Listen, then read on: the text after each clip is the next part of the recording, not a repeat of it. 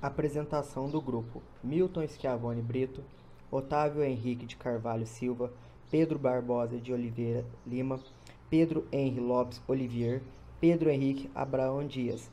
Disciplina: GFD 105, Estudos Socioculturais e Educação Física, Esporte e Lazer. Professor Márcio Farias. Obra escolhida: Brasil em Jogo, o que fica da Copa e das Olimpíadas.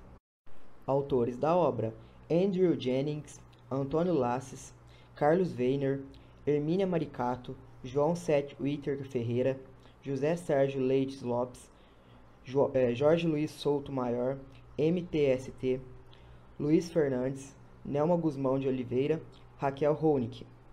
Início da leitura da obra. Primeiro ato: Uma boa ideia de marketing urbano. Meados dos anos 1980, os países desenvolvidos vivem a crise da chamada reestruturação produtiva. Reduz-se a disposição dos estudos de bem-estar para manter políticas sociais universais e gratuitas ainda mais face ao aumento significativo de imigrantes. Hegemoniza-se a mudança para um modelo neoliberal, liderada pelo, por Thatcher da Grã-Bretanha e Reagan dos Estados Unidos. Os investimentos públicos tornam-se cada vez mais pontuais e exclusivistas, politicamente bem mais sucedidos pelos segmentos da alta renda, de alta renda, em detrimento dos programas sociais estruturais. A economia mundial se financiariza e se endivida, consolidando um modelo que iria estourar décadas depois da crise de, de 2008. A disputa por investimento torna-se acirrada. No âmbito urbanístico, parques industriais e equipamentos, com, é, como estações de trem, tornam-se obsoletos. Os centros urbanos popularizam-se e absorvem milhares de imigrantes. O desemprego bate forte e a crise nas cidades se instaura. A palavra renovação urbana soa como música para enfrentar uma situação social que não agrada nem às elites nem aos governantes. O modelo de bem-estar social começa a se esfalecer, dando lugar ao combate, a chamada degradação urbana. Paradoxalmente, foi um governo socialista do francês Mitterrand que inaugurou o que se tornaria uma solução para essas áreas, transformá-las por meio da construção de, de grandes equipamentos culturais, museus, óperas e afins, símbolos arquitetônicos que aquecem o mercado imobiliário e da construção civil dão um lustre moderno à figura do governante, é, dinamizam o turismo e revigoram o chamado marketing da cidade, ao preço de uma forte valorização e elitização. A ideia difundida era, era de, de que gastos concentrados, muito menores do que políticas sociais em grande escala, gerariam uma imagem positiva da cidade, capaz de extrair os fluxos do novo capital financeiro. Segundo ato, uma receita de urbanismo. Nos anos de 1990, a receita espalhou-se pelo mundo desenvolvido com tanto sucesso que importantes urbanistas como Hermínia Maricato e Carlos Werner, que escreveram neste livro, chegaram a apontar a hegemonização de um pensamento único nas cidades. Em suas prestações globais, as Wannabe World Cities passam a disputar os fluxos de capitais financeiros. Multiplicam-se as obras simbólicas assinadas por grandes arquitetos emergentes emergentes de um novo jet set internacional da profissão. A renovação das docas de Londres e o Museu Guggenheim em Bilbao são algumas das incontáveis, dos incontáveis exemplos de renovações urbanas realizadas segundo essa receita de urbanismo do espetáculo.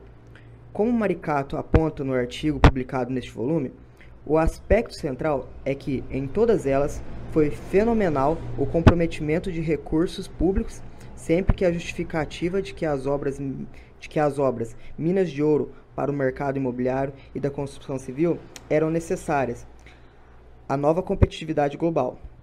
Porém, nem sempre as requalificações de, de, de bairros obsoletos com, é, com dinheiro público tiveram a aceitação esperada, apesar do selo cultural. Na crise econômica, a estratégia de comprometer recursos foi negativamente cotejada, com a redução dos investimentos nas políticas sociais. Era necessário legitimar este modelo de alguma forma. Percebeu-se então que grandes eventos, sobretudo os esportivos, que movem paixões nacionais, tinham a grande qualidade de serem popularmente aceitos.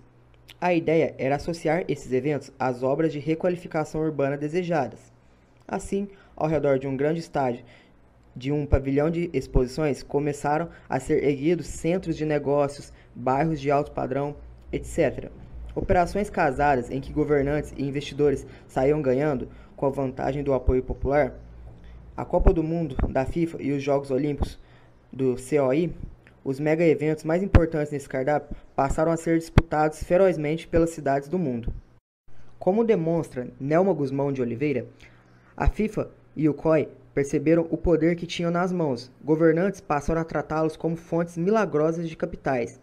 Quem obtivesse o direito de sediar seus eventos teria uma justificativa de, uma justificativa de inquestionável popularidade para dispor de rios de dinheiro público em nome da modernização da cidade, alavancando negócios milionários para um setor privado.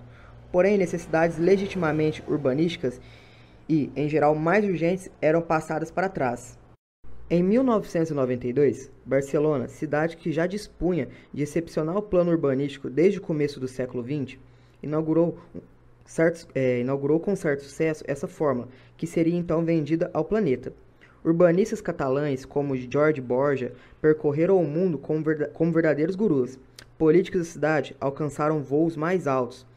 John Claus, responsável financeiro dos Jogos Olímpicos e por duas vezes prefeito da cidade, é hoje diretor executivo da UN-Habitat, da ONU.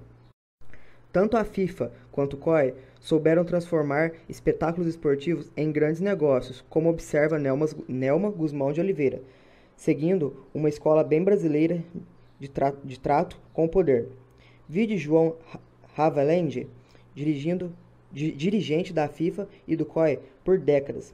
Favores, comissões e outras formas de negociação pouco transparentes passaram a ditar a escolha das cidades sedes, mas, sobretudo, os processos subsequentes da organização de eventos. A FIFA, o COI e mesmo a, a FIA da Fórmula 1 viram-se frequentemente envolvidos em escândalos de corrupção. E uma voz quase solitária passou a denunciar corajosamente tais descalabros.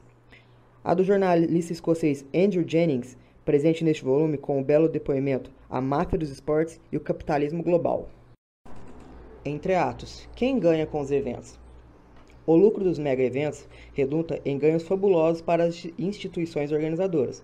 O evento por si só já é uma máquina de dinheiro, com a venda de ingressos, direitos televisivos, de publicidade e imagem. Porém, se para a FIFA o negócio é lucrativo, com 0% de riscos, não é tão seguro assim para os patrocinadores. Por isso, aliás, eles ficaram apavorados com as manifestações de junho de 2013 no Brasil e exigiram medidas draconianas para proteger sua exclusividade. A regra é clara: todo lucro deve ser garantido às empresas que pagarem por isso. Para os governos, porém, a conta não é tão certa, pelo menos em termos eh, monetários. O suposto grande lucro é político-eleitoral.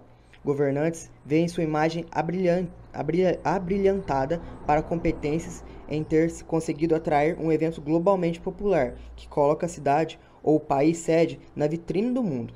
No, entanto, do ponto de vista financeiro, até hoje não se mostrou na ponta do lápis o resultado final da equação entre os montantes de dinheiro público investido, os custos de manutenção dos equipamentos após os eventos e os resultados comerciais efetivos no turismo e no comércio.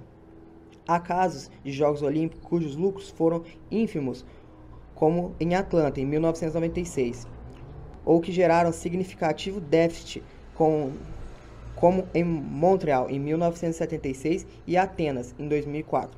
Muitas vezes, trata-se tão somente de transferências indiretas de recursos públicos para setores específicos, como o de hotelarias, e os custos sociais e ambientais são de difícil mediação. Mas o que ajuda a transformar mega eventos em minas de ouro são as obras que alavancam, exigidas pelos organizadores em comum acordo com os governos hospedeiros. Alimentam os, os mercados de construção civil, fundiários e imobiliários. A valorização fundiária é espetacular, gerando disputas locais ferozes, como mostra Hermínia Maricato neste livro. É, nos países em desenvolvimento, o tsunami dos capitais envolvidos aprofunda a dinâmica estrutural de desigualdade urbana e segregação socioeconômica, Junto a estádios, ginásios ou pavilhões, estruturam-se empreendimentos comerciais e bairros de negócios, e são construídas importantes vias de acesso que interessam especialmente os organizadores e raramente são prioritárias para a cidade. O caso de São Paulo na Copa de 2014 é exemplar. Mobilizaram-se recursos federais específicos para a construção de um monotrilho suspenso que serviria o estádio da abertura da Copa, na zona sudoeste da cidade. Porém, por disputas locais e pressão da FIFA, optou-se pela construção de um estádio novo na zona leste, a custos e comissões muito mais altos. Mas o monotrilho da Copa continuou a ser construído para levar torcedores ao estádio anterior. O novo estádio, por sua vez, foi implantado sem nenhum projeto de integração com a malha urbana local. Além disso, as entidades esportivas indicam empresas amigas para os projetos de engenharia, interferem nas escolhas das empre empreiteiras e pressionam os governos a abrirem pesadas linhas de financiamento. Sua força é tanta e a submissão dos políticos locais tão gritante que conseguem forçar a aprovação de leis específicas e excepcionais para garantir seus privilégios, como mostram nesse livro Carlos Werner e Jorge Luiz Souto Maior. Nos países desenvolvidos, é, entretanto, tais procedimentos não passam despercebidos. A dificuldade em equacionar os investimentos públicos e os lucros eventuais, o déficit estrondoso de alguns eventos e as acusações de corrupção começam a mobilizar a sociedade civil, que protesta cada vez mais veementemente é, a distância de, de Estocolmo em concorrer para os Jogos Olímpicos de Inverno de 2022. Segue a segunda parte do livro Brasil em Jogo, lida por Otávio Henrique de Carvalho Silva, de acordo com a distribuição feita pelo grupo.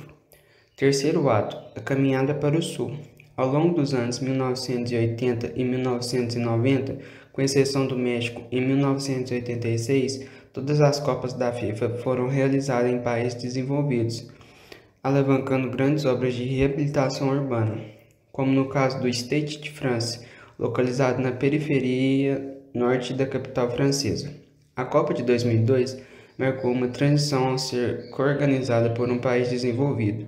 O Japão, como um tigre asiático em ascensão à Coreia do Sul, era o começo de uma movimentação em direção aos países em desenvolvimento.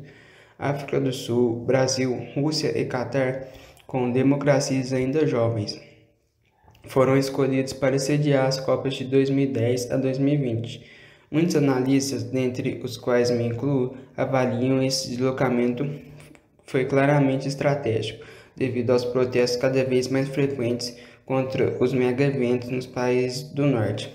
Mais que isso, as estruturas governamentais dos novos anfitriões, geralmente contaminadas por uma corrupção estrutural, são especialmente vulneráveis às expressões exercidas pelos grandes players dos mega-eventos sendo mais fácil dobrar os políticos locais para aproveitar leis de ascensão, mesmo que representem retrocessos gritantes em suas conquistas sociais, como mostra parte dos textos dessa coletânea.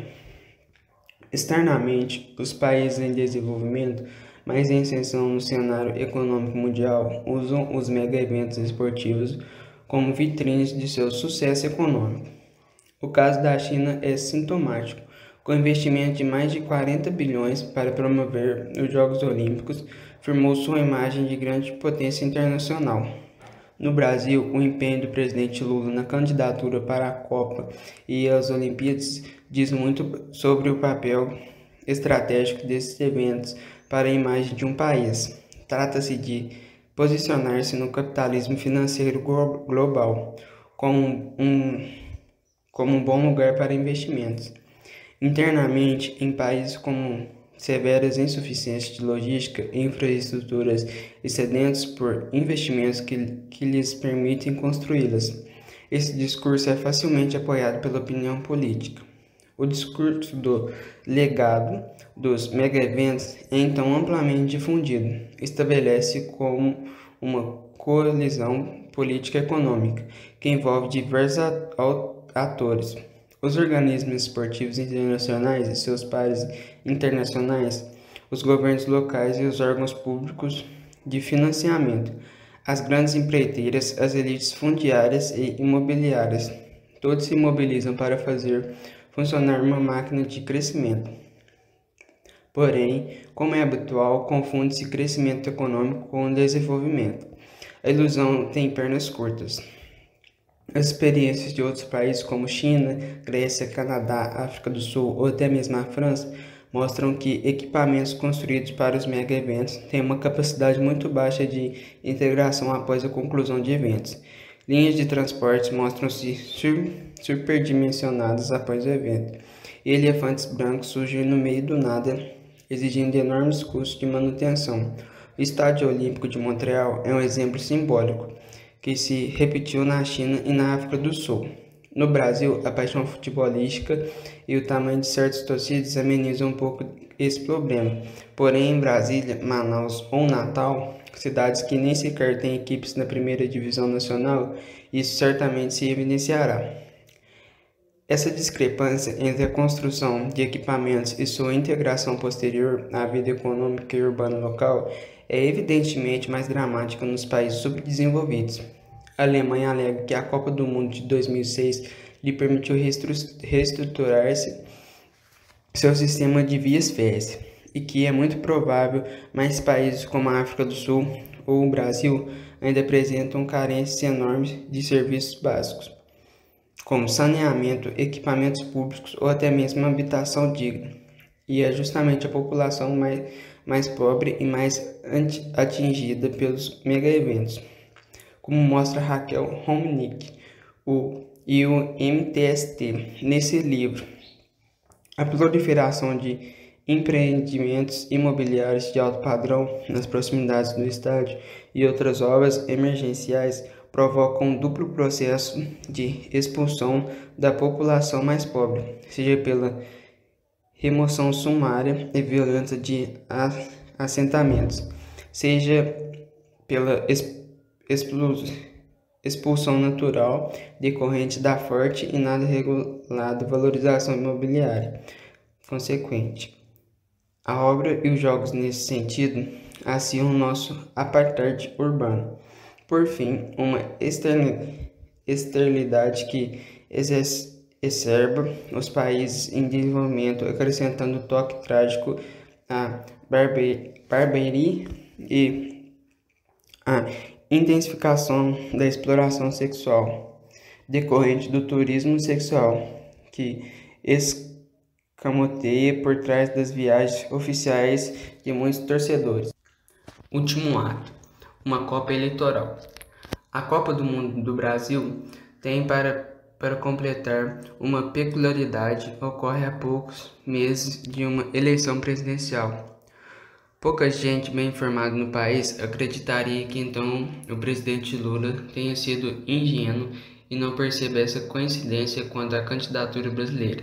Trata-se e, e é evidente de uma aposta política arriscada, mas no caso de sucesso, extremamente lucrativo. Se o Brasil organizar bem a Copa, nada mais impedirá a ampla aceitação dos Jogos Olímpicos do Rio e os louros políticos para o governo. Resta saber se Lula havia previsto os eventos de julho de 2003, que abalaram o país justamente na ocasião da Copa das Confederações. As manifestações que então mobilizaram a juventude brasileira foram a expressão de uma renovação gera geracional. Jovens que crescem em um ambiente democrático, com enorme disponibilidade de informação, conscientizam-se de que o país carece de um legítimo sentido público, e a razão que se levou às ruas originalmente foi a reivindicação de políticas públicas universais. Neste ambiente crítico, era natural que se questionasse a insensatez dos gastos com os mega-eventos. Em país ainda mais pobre, apesar de muito rico, que, que, com, que com índice de concentração de renda e que as políticas públicas mostram-se constrangedoramente ineficazes. A concentração de recursos públicos nos equipamentos da Copa revelou-se incoerente a antagônica com o próprio discurso governamentista oficial de acabar com a pobreza no país. Essa incoerência foi cobrada nas manifestações de 2013, do governo federal que se defendeu, dizendo que os recursos públicos vinham sobretudo dos estados, que aceitavam receber a Copa.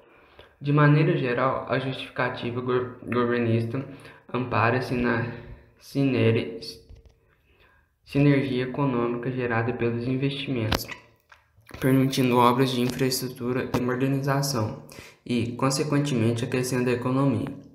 É esse argumento central sustentado nesse livro por Luiz Fernandes, secretário executivo do Ministério do Esporte. Se esse discurso tem aspectos verdadeiros, ele se fragiliza quando cotejado pelos jovens, com uma realidade em que o dinheiro público é frequentemente desviado pela corrupção e principalmente o setor privado mostra estar mais interessado em sua lucratividade do que em contribuir com a modernização do país.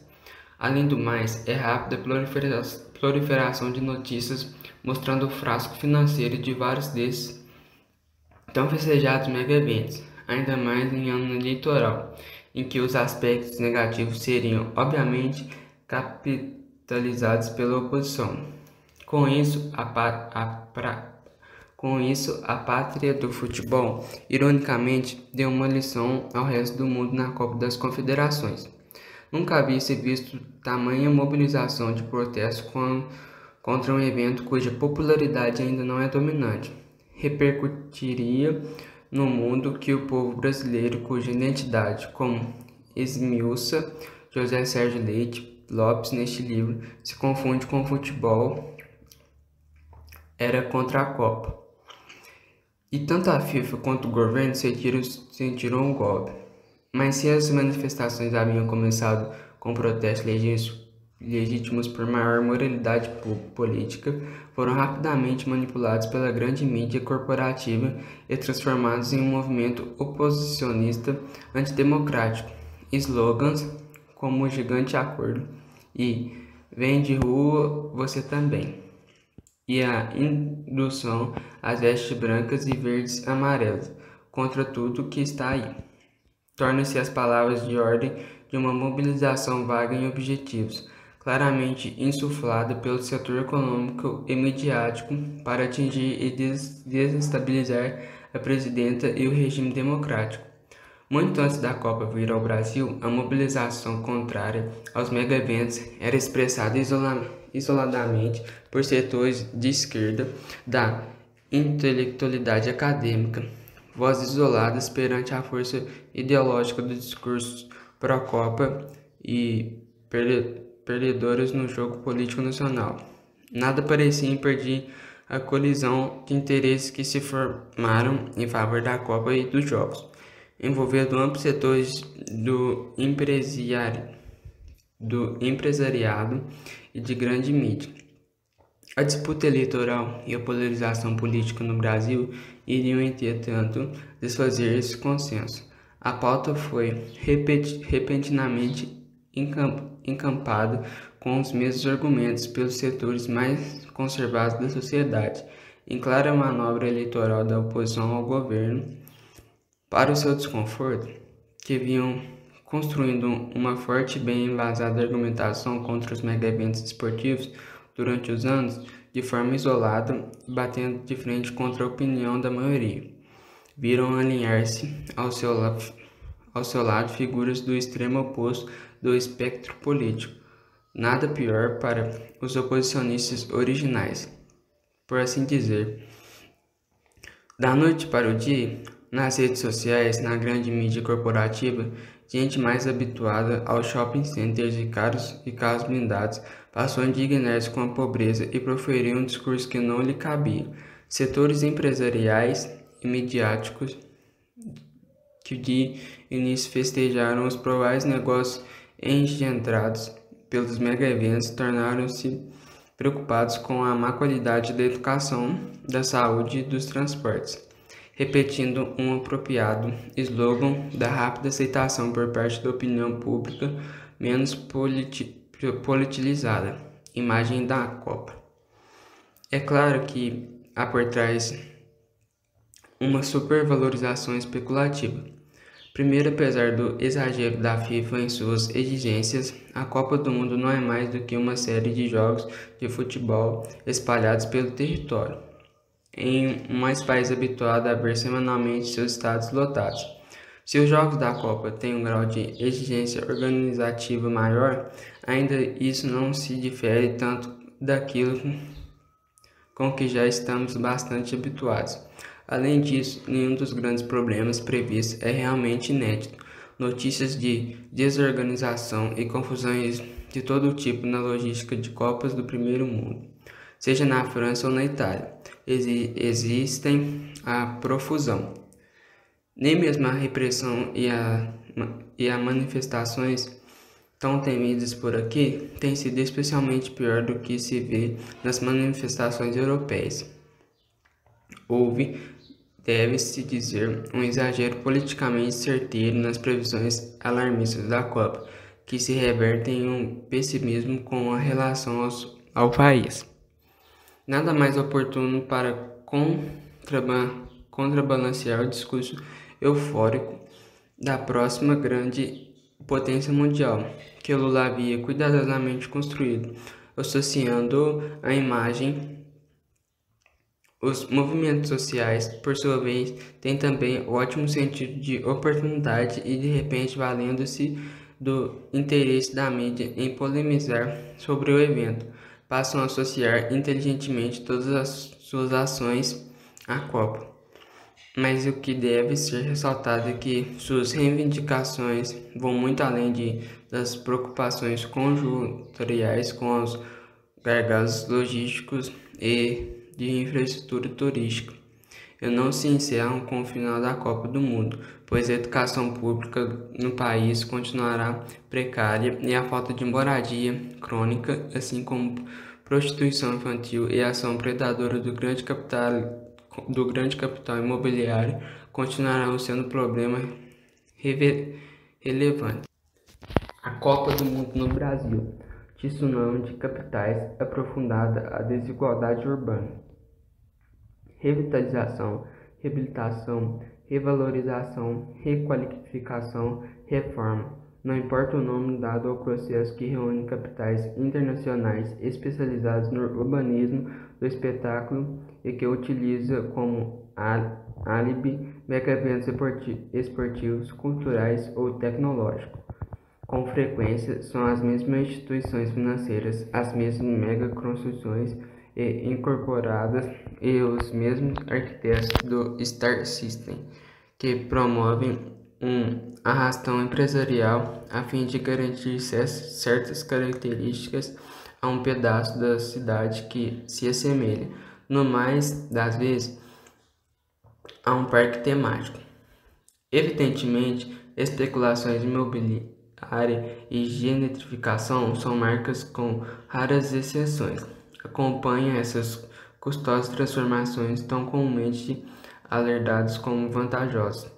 No caso da Copa do Mundo, as exigências feitas pela Federação Internacional de Futebol Associado, FIFA, e o Comitê Olímpico Internacional, COI, impactam profundamente o contexto jurídico, econômico, social e urbanístico dos países sede, de forma a definir padrões para projetos e obras os contratos comerciais para veiculação das imagens e os produtos a serem vendidos de acordo com os patrocinadores.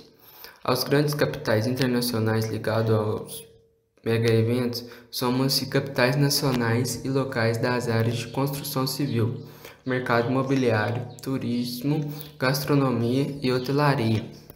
Políticos de plantão entregam essa máquina de crescimento, apostando na visibilidade de suas iniciativas e no apoio econômico para futuras campanhas.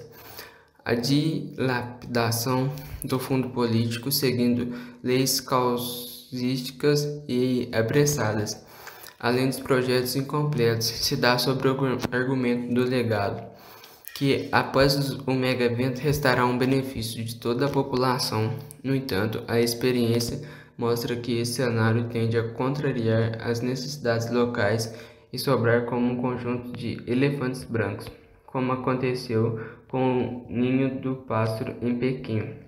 ou com estádio construído na cidade do Cabo para a Copa de 2010, cuja demolição chegou a ser cogitada. Algo semelhante ocorre com as obras de mobilidade de moradia. O interesse social é álibi para um, milionário mov movimento de construção, que entretanto ignora as reais necessidades populares. Uma tendência geral de expulsão dos pobres da cidade com a valorização imobiliária vincula-se à distinção de classe. É o que, é o que se verifica. Ainda assim, apesar de reconhecer a monótona regularidade das estratégias territoriais que acompanham os mega-eventos do mundo, é impossível conter a perplexidade diante do que aconteceu hoje com as cidades brasileiras na Copa de 2014, em especial com a violenta metrópole do Rio de Janeiro, que cedirá também os Jogos Olímpicos de 2016. O urbanismo do espetáculo e os mega-eventos. Antes de mencionar a especificidade da relação entre mega-eventos e cidade, é preciso lembrar o papel das cidades na chamada globalização neoliberal. O processo de assalto às economias nacionais como propostas de renovações urbanas que incluem grandes obras e flexibilização da normativa urbanística não acontece exclusivamente em função dos grandes eventos. Pode-se dizer que é uma das estratégias regulares da globalização neoliberal. Com os mega-eventos, essa tendência se potencializa. As cidades ocupam um papel importante no processo de acumulação do capitalismo globalizado, do qual, por ocasiões dos meganegócios, o espaço urbano, as obras de infraestrutura e as edificações constituem parte essencial.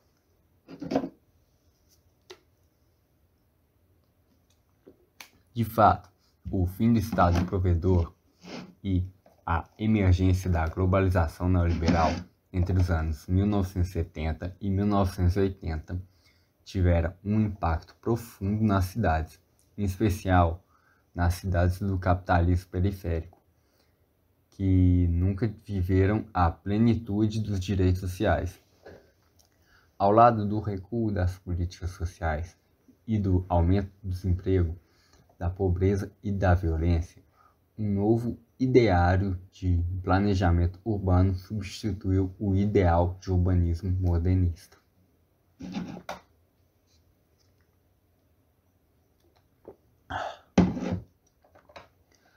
Desregulamentação, flexibilização e privatização são práticas que acompanham a reestruturação das cidades no intuito de abrir espaço para os capitais imobiliários e de infraestrutura e serviço. É preciso entender as forças que tomam o comando desse processo e o ideário urbanístico que o acompanha. As privatizações foram ampliadas sob a argumentação da ineficiência do Estado e eficiência do mercado, ideia construída por uma campanha mundial espetacular sustentada por agências multilaterais incluindo o Banco Mundial e o FMI, e conglomerados internacionais.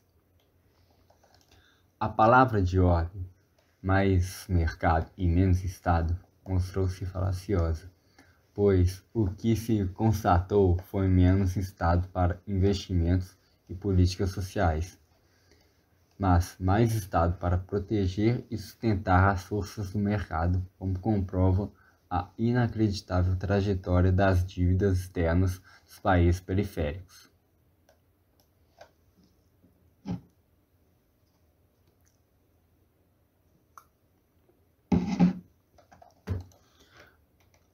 Apesar da roupagem democrática e participativa inspirada inicialmente na experiência de Barcelona, as propostas dos planos estratégicos combinaram-se perfeitamente ao ideário neoliberal, que orientou o ajuste das políticas econômicas nacionais por meio do Congresso de Consenso de Washington, a fim de que as cidades se adequassem, adequassem aos novos tempos de reestruturação. produtiva no mundo, ou mais exatamente, de relação de subordinação às novas exigências do processo de acumulação capitalista ainda sob o Império Norte-Americano.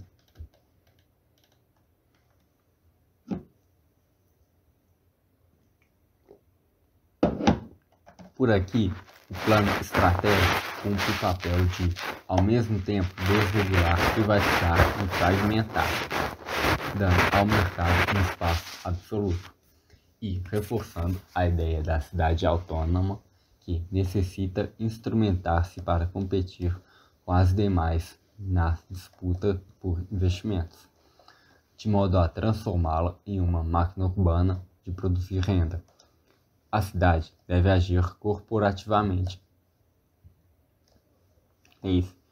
minimizando os conflitos internos para sobreviver e vencer. Trata-se da cidade corporativa ou cidade pátria, que cobra o esforço e o consenso de todos em torno dessa abrangente visão de futuro. Para tanto, ela deve apresentar os serviços e equipamentos exigidos, das cidades globais, hotéis cinco estrelas, centros de convenções, polos de pesquisa tecnológica, aeroportos internacionais, etc., a fim de vender-se com competência. Trata-se da cidade mercadoria, da cidade empresa que deve ser gerida como tal.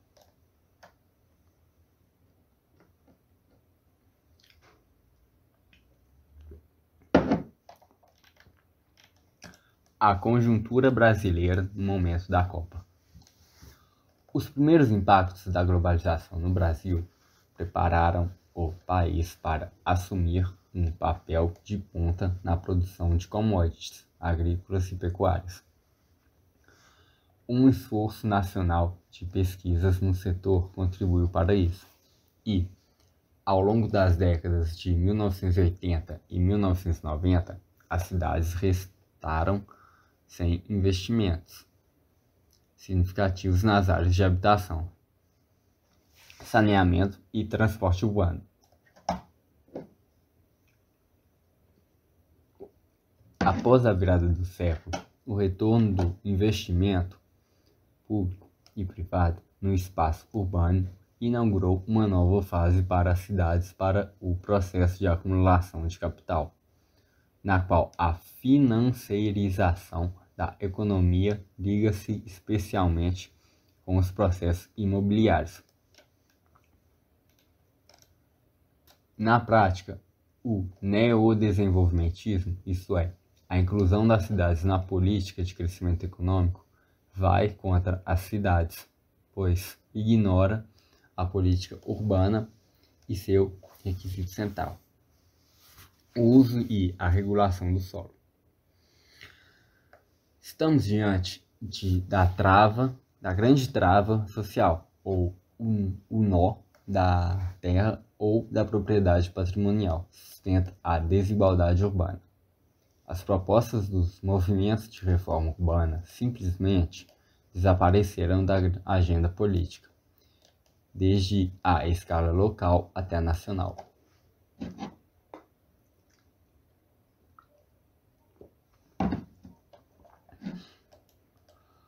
Um grande número de obras de infraestrutura voltadas em sua maior parte para a circulação do automóvel e para a expansão do mercado imobiliário passou a constituir a política urbana, contrariando o plano diretor municipal em, em função do financiamento de campanhas eleitorais.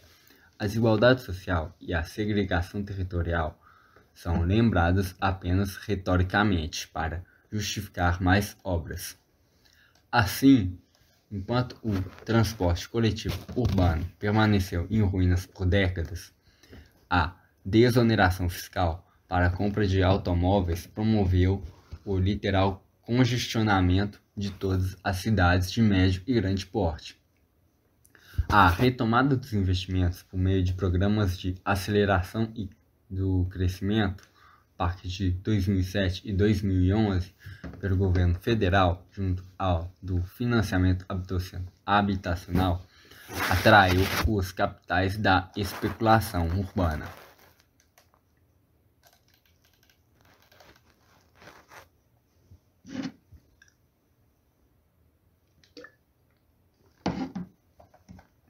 Sem dúvida, esse movimento de obras teve impacto positivo no emprego e no crescimento econômico, como revelam os dados do IBGE, mas à custa de um preço altíssimo para as cidades e seus moradores, que não participaram dos ganhos rentistas fundiários.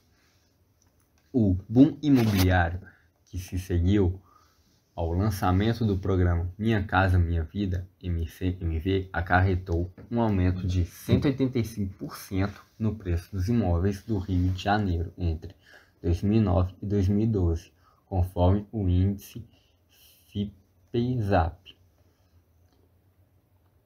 A perspectiva da realização tanto da Copa quanto das Olimpíadas no Brasil também contribuiu para essa febre imobiliária com o aumento no preço de aluguéis e imóveis.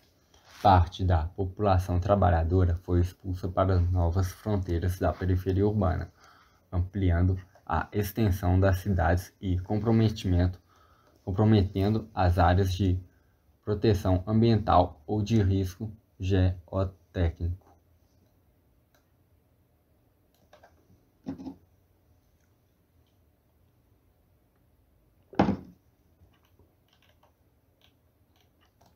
A estratégia da política de segurança também observa essa lógica territorial. Como fica evidente no caso carioca, as unidades de polícia pacificadora, UPP, foram instaladas na favela a fim de distinguir a cidade como espaço voltado para o turismo e para o mercado, situados em áreas desvalorizadas. As favelas são entregues ao poder das milícias ou do crime organizado. O conceito de estado de exceção de Agamben refere-se ao Estado que utiliza de dispositivos legais como meio para exercer o poder de forma ilimitada, negando a própria legalidade e o direito dos cidadãos.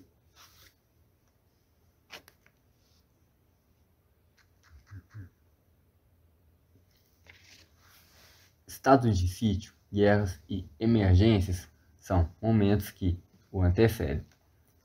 Contraditoriamente, perenizados por construções legais.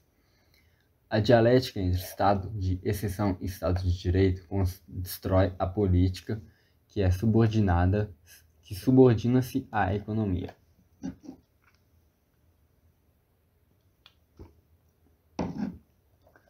A fim de adaptar as cidades ao urbanismo do espetáculo, operações urbanas definem os espaços que merecem tratamento diferenciado.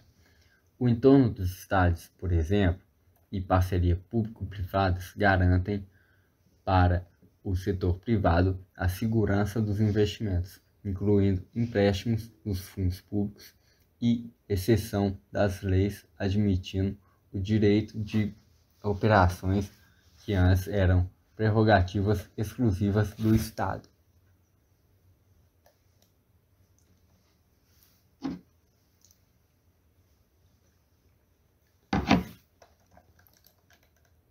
A análise embasada no conceito de estado de exceção de Agamben se aplica ao urbanismo praticado sob ideário neoliberal.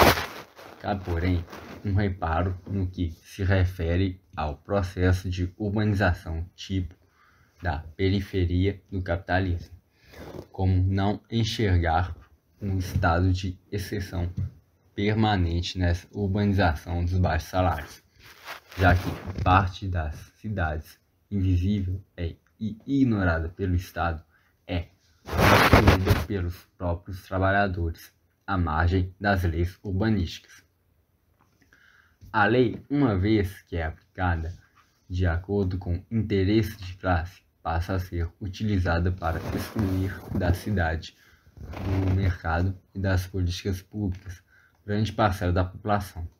Ao mesmo tempo, é essa contradição entre lei e a realidade que nega e sua aplicação discriminatória que garante um mercado altamente especulativo.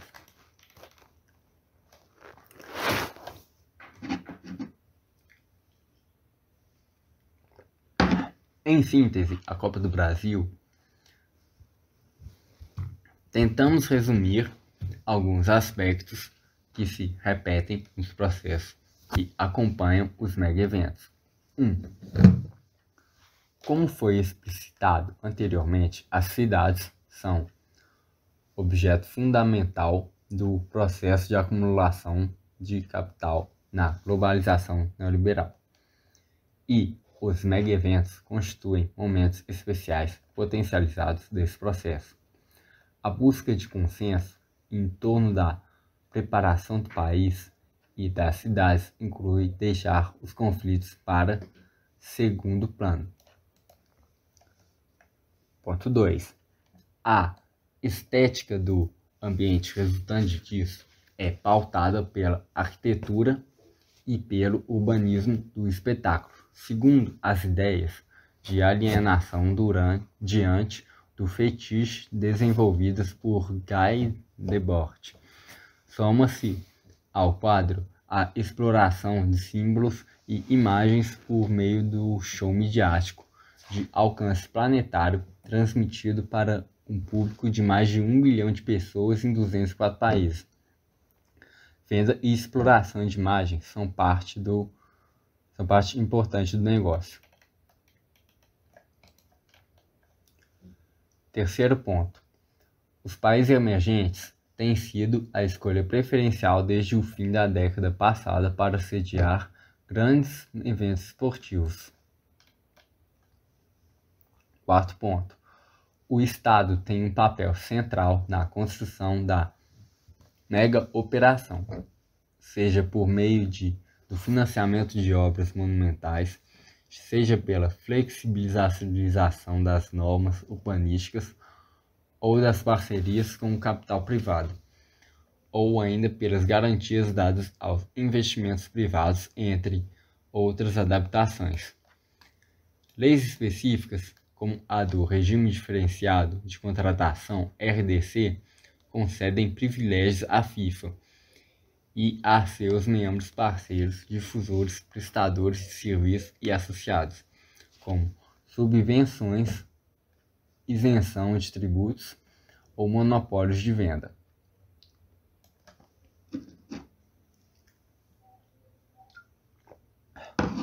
Quinto ponto. O suposto legado que ficará no país como herança positiva tem mostrado muitos aspectos negativos nas experiências anteriores. Obras monumentais sem utilidade, serviços que fogem à prioridade social do, e dívidas enormes. No Brasil, chama a atenção a condição absurda dos custos e das dimensões dos estádios que foram construídos. Em Porto Alegre, a reforma do Beira Rio foi orçada em 330 milhões, dos quais 271,5 milhões são empréstimo do BNDES. A construção do a, a construtora Andrade Reis Manaus colocou abaixo o maior estádio já construído na região norte do Brasil com capacidade para 40 mil pessoas, para construir outro com capacidade para 44 mil. A demolição custou 32 milhões oriundos do fundo público e o novo estádio custou 500 milhões. Sexto ponto. Em geral, os orçamentos foram subestimados e os projetos iniciaram-se sem desenhos executivos. Segundo reportagem do jornal Gazeta do Povo, de 24 de fevereiro de 2013, foi constatado que as contrapartidas da Prefeitura de Curitiba pelas obras de mobilidade da Copa saltaram dos 11 milhões previstos inicialmente para 146,8 milhões. Sétimo ponto. Mas para mas a maior operação imobiliária em curso se dá no Rio de Janeiro e leva o nome de Porto Maravilha. Trata-se de uma mega intervenção que busca renovar o aeroporto portuário seguindo a receita de várias cidades mundiais como Londres, Nova York e Buenos Aires, com forte simbologia ligada à, à estética do espetáculo, seguindo, segundo um ideário que mal encobre a finalidade do negócio. Inclui residências e escritórios num espaço de distinção a operação combina todos os expedientes já mencionados aqui: legislação de exceção, recursos governamentais milionários e coordenação delegada às empresas privadas. Oitavo ponto: segurança e vigilância são mercados novos que se ampliam nos mega eventos, sediados em países periféricos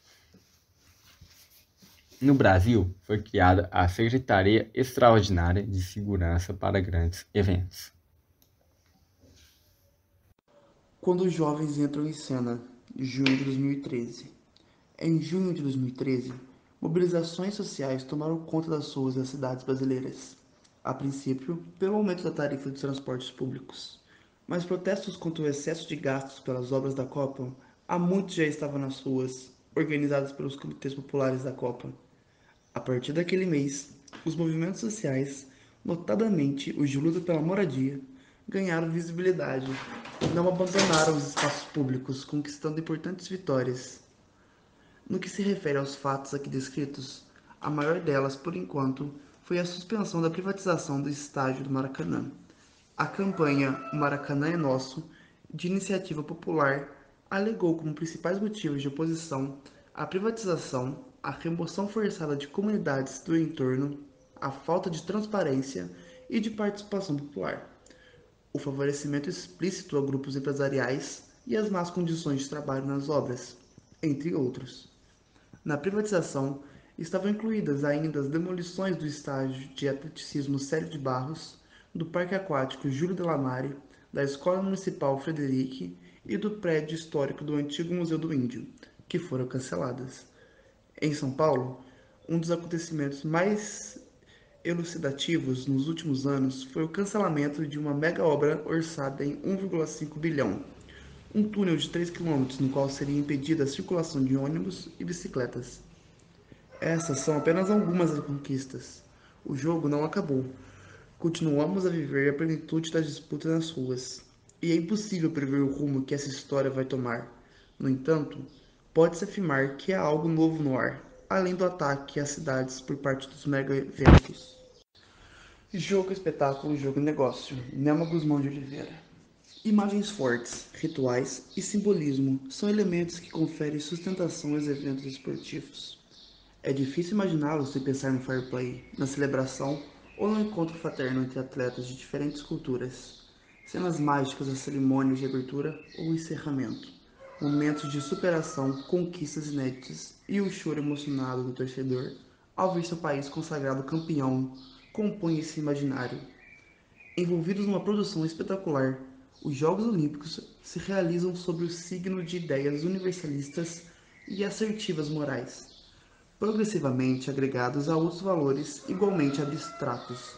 Esse discurso é também incorporado a eventos organizados por instituições integrantes do movimento olímpico, dentre as quais a Federação Internacional de Futebol Associado. Mas como se deu a passagem do esporte amador para o grande negócio do esporte? Pode o espetáculo ser considerado esporte quando todos os signos que o compõem se convertem em mercadoria? O amadorismo e a sua passagem à profissionalização. Aristóteles, em sua Ética Nicomaco, referia-se ao entretenimento como um fim em si próprio. Na mesma direção, Kant, na crítica da faculdade do juízo, também defendia o jogo, em oposição ao trabalho, como uma ocupação agradável por si própria.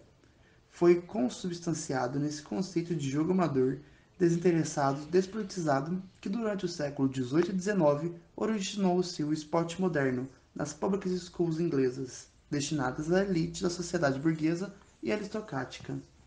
Na década de 1890, um grupo de aristocratas europeus, liderados pelo Barão de Colbert, se articulou em torno da ideia de uma retomada dos Jogos Olímpicos praticados na Grécia Antiga entre os séculos 18 e 4 depois de Cristo. O esporte moderno se coloca então como algo inteiramente novo e diferente em relação às atividades normalmente apresentadas como suas ancestrais. Vale notar nesse discurso de uma suposta renascença em relação aos jogos da antiguidade a sustentação de uma herança seletiva, que invoca apenas os aspectos considerados gloriosos pela ética burguesa e deixa de lado aqueles poucos éticos ou não civilizados, segundo os padrões morais da sociedade moderna, como, por exemplo, o alto grau de tolerância à violência física. As competições da antiguidade e o esporte moderno amador possuem, contudo, uma coisa em comum: o caráter elitista. A não admitir remuneração relacionada à atividade esportiva, o amadorismo caracterizou dois momentos pressupõem a existência de atletas com posses suficientes para se sustentar ao longo tempo determinado ao treino.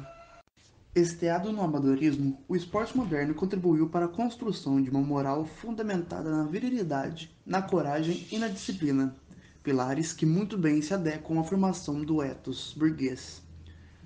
A permanência nessas bases veio legitimar a pretensão da autonomia do esporte, facultando-lhe o poder de construir uma estrutura política e financeira própria, juridicamente autônoma em relação às regras gerais da sociedade.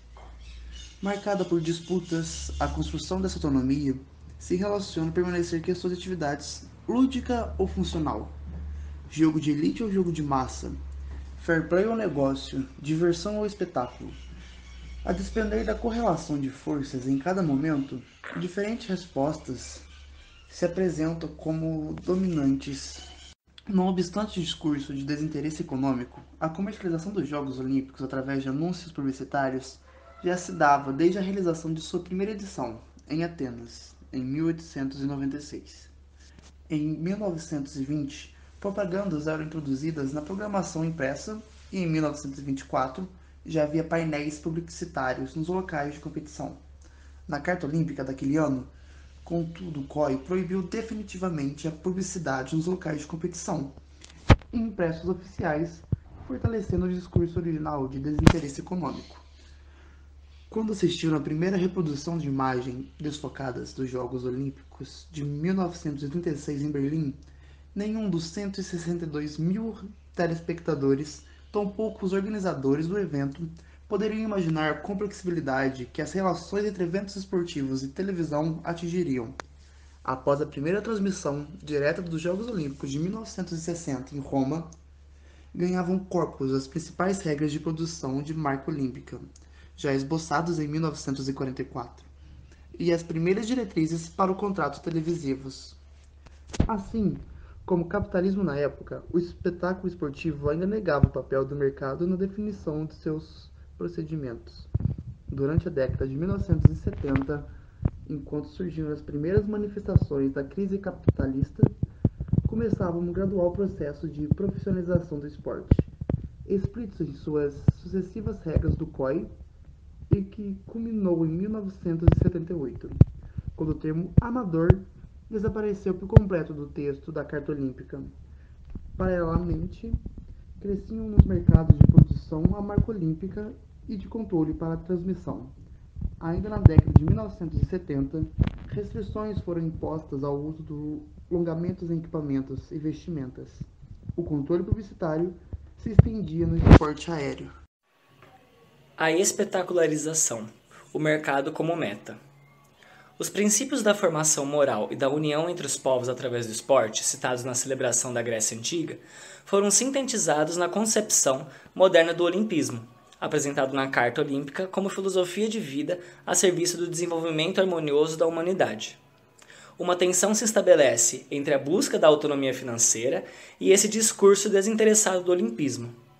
No fim do século XX, entretanto, a conjuntura imensamente favorável ao mercado criaria as bases para a legítima conciliação entre as duas lógicas, a princípio antagônicas.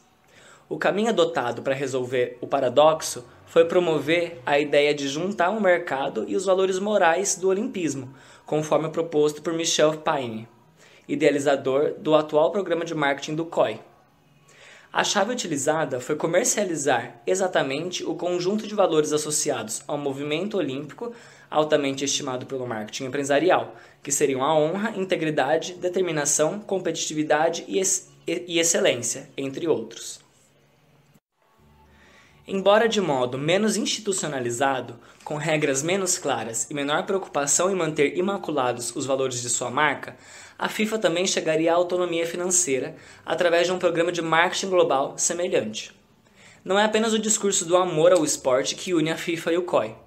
À frente das duas instituições, em sua virada comercial, se encontravam dois, dois homens fortes e autoritários. Na FIFA, como presidente entre 1974 e 1998 estava João Avelange, amigo dos generais da ditadura militar do Brasil. No COI, entre 1980 e 2001, estava Juan Samaranch, que traz no currículo longa participação no governo fascista de Franco na Espanha. Por trás desses dois homens estava Horst Dassler, objetivando divulgar materiais esportivos em sua empresa, a Adidas, Dassler estabeleceu laços com os principais dirigentes esportivos do planeta e se tornou o homem mais poderoso do universo dos esportes até sua morte em 1987, influenciando eleições para cargos esportivos no mundo inteiro. Fazia parte de sua estratégia manter executivos de confiança em cargos importantes em federações e agências de atletismo. Foi ele que levou Payne para o COI e Joseph Blatter para a FIFA, por exemplo. Ao assumir a presidência do COI em 1980, Samaranch encontrou o movimento olímpico à beira do colapso.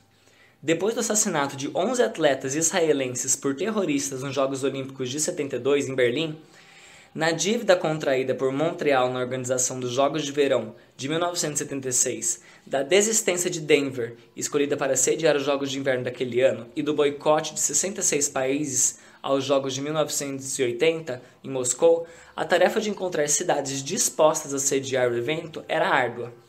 Diante de tal conjuntura e com o caixa em dificuldades, Samaranch, com a ajuda do amigo Dassler e sua empresa de marketing esportivo, a International Sport and Leisure, ISL, enfrentou o desafio de aumentar as receitas com transmissões de TV e programas de patrocínio.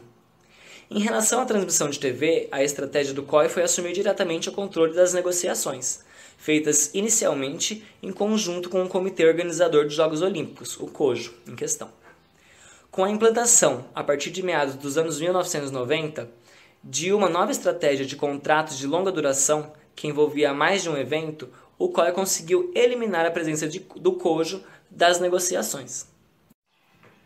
Foi também a ISL que apresentou em 1982 a ideia de um programa único de patrocínio em escala mundial, The Olympics Partners, TOP, com a proposta exclusiva com a proposta de exclusividade por categoria de produtos e serviços, envolvendo o movimento olímpico como um todo. O programa TOP inaugurava um modo de negociação e distribuição de receitas centralizados no COI, acabando com as práticas ante acabando com a prática anterior de negociação direta com os COJOS e demais comitês olímpicos nacionais, CONs. Além do programa TOP e da transmissão de TV, as receitas do marketing olímpico, que atingiram a soma de 8,4 bilhões no período de 2009 a 2012, contam com a bilheteria, venda de licença das mar de marcas da marca olímpica para produtos e souvenirs e patrocínio doméstico. Adotando práticas que diferem em alguns aspectos do COI, a FIFA chegou à final da Copa do Mundo de 2010 na África do Sul com resultados financeiros igualmente sólidos. Com um faturamento de aproximadamente 4,2 bilhões de dólares no quadriênio de 2007-2010, a FIFA também concentra a sua principal receita na venda dos direitos de transmissão e de marketing. Para chegar à presidência da FIFA, a principal promessa de campanha de Avalanche aos dirigentes de federações nacionais era aumentar o número de países nos campeonatos mundiais. De fato, ele conseguiu dobrar o número de participantes na Copa do Mundo, passando de 16 países em 1974 para 32 em 1998. Para tal façanha, precisou de dinheiro e a estratégia foi transformar, com a ajuda de Dassler, o futebol em uma das maiores commodities do mundo. Apesar das semelhanças de estratégia e resultado, alguns aspectos diferenciam a FIFA e o COI. Se o marketing da FIFA se apoia na paixão pelo futebol, o que é vendido pelo COI com exclusividade por território ou categoria de produto é a associação entre determinada marca ou rede de TV aos valores não comerciais do olimpismo. Enquanto a FIFA vende espaços publicitários, é exatamente a ausência desses espaços que valoriza a marca do COI. Daí a importância da restrição de publicidade na tela ou dentro dos locais de competição durante as provas. Se, em caso de escândalos e denúncias de corrupção, o, o COI trata de encontrar rapidamente alguns culpados. A fim de puni-los, a FIFA mantém os responsáveis impunes até que a situação se torne insustentável. E o que tem isso a ver com as cidades?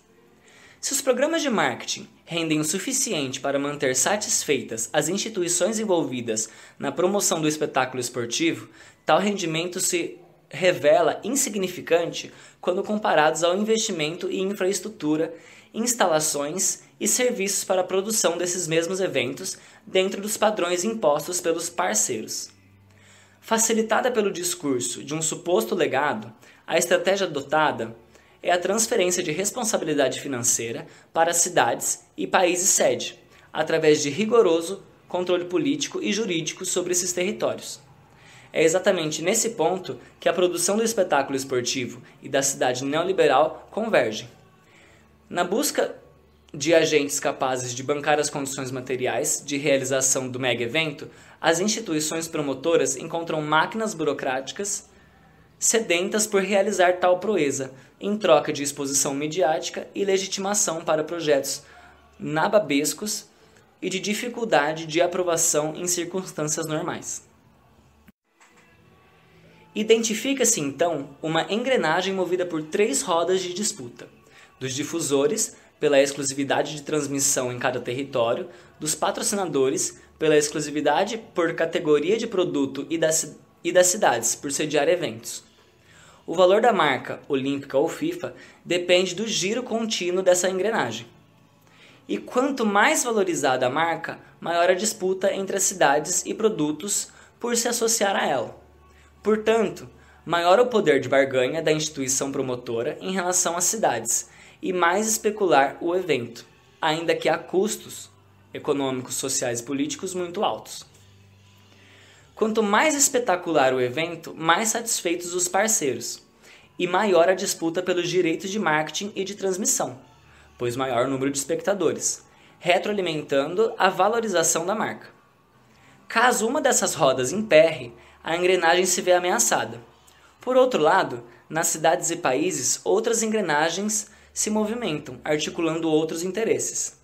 As exigências impostas pelas instituições internacionais, objetivando satisfazer seus parceiros, se adequam à legitimação de medidas que viabilizam interesses locais e, desse modo, mantêm a disputa das cidades em movimento. Há, entretanto, uma contradição proporcional à força de rotação da engrenagem, na medida em que traz consigo o fantasma de esfriamento do interesse das cidades.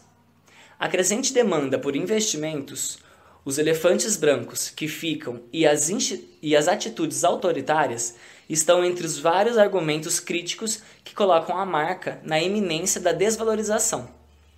É nesse sentido que novos discursos, como o do legado, vão sendo incorporados. Sempre que a sociedade civil interpela o poder do espetáculo, ele se vê constrangido a se reinventar, a mudar as regras do jogo, e isso é o que vem ocorrendo atualmente, especialmente a partir das crescentes ações questionadoras no Brasil. Os resultados dessas disputas, embora ainda em aberto, indicam que esse poder não é absoluto. Ele pode e deve ser desafiado.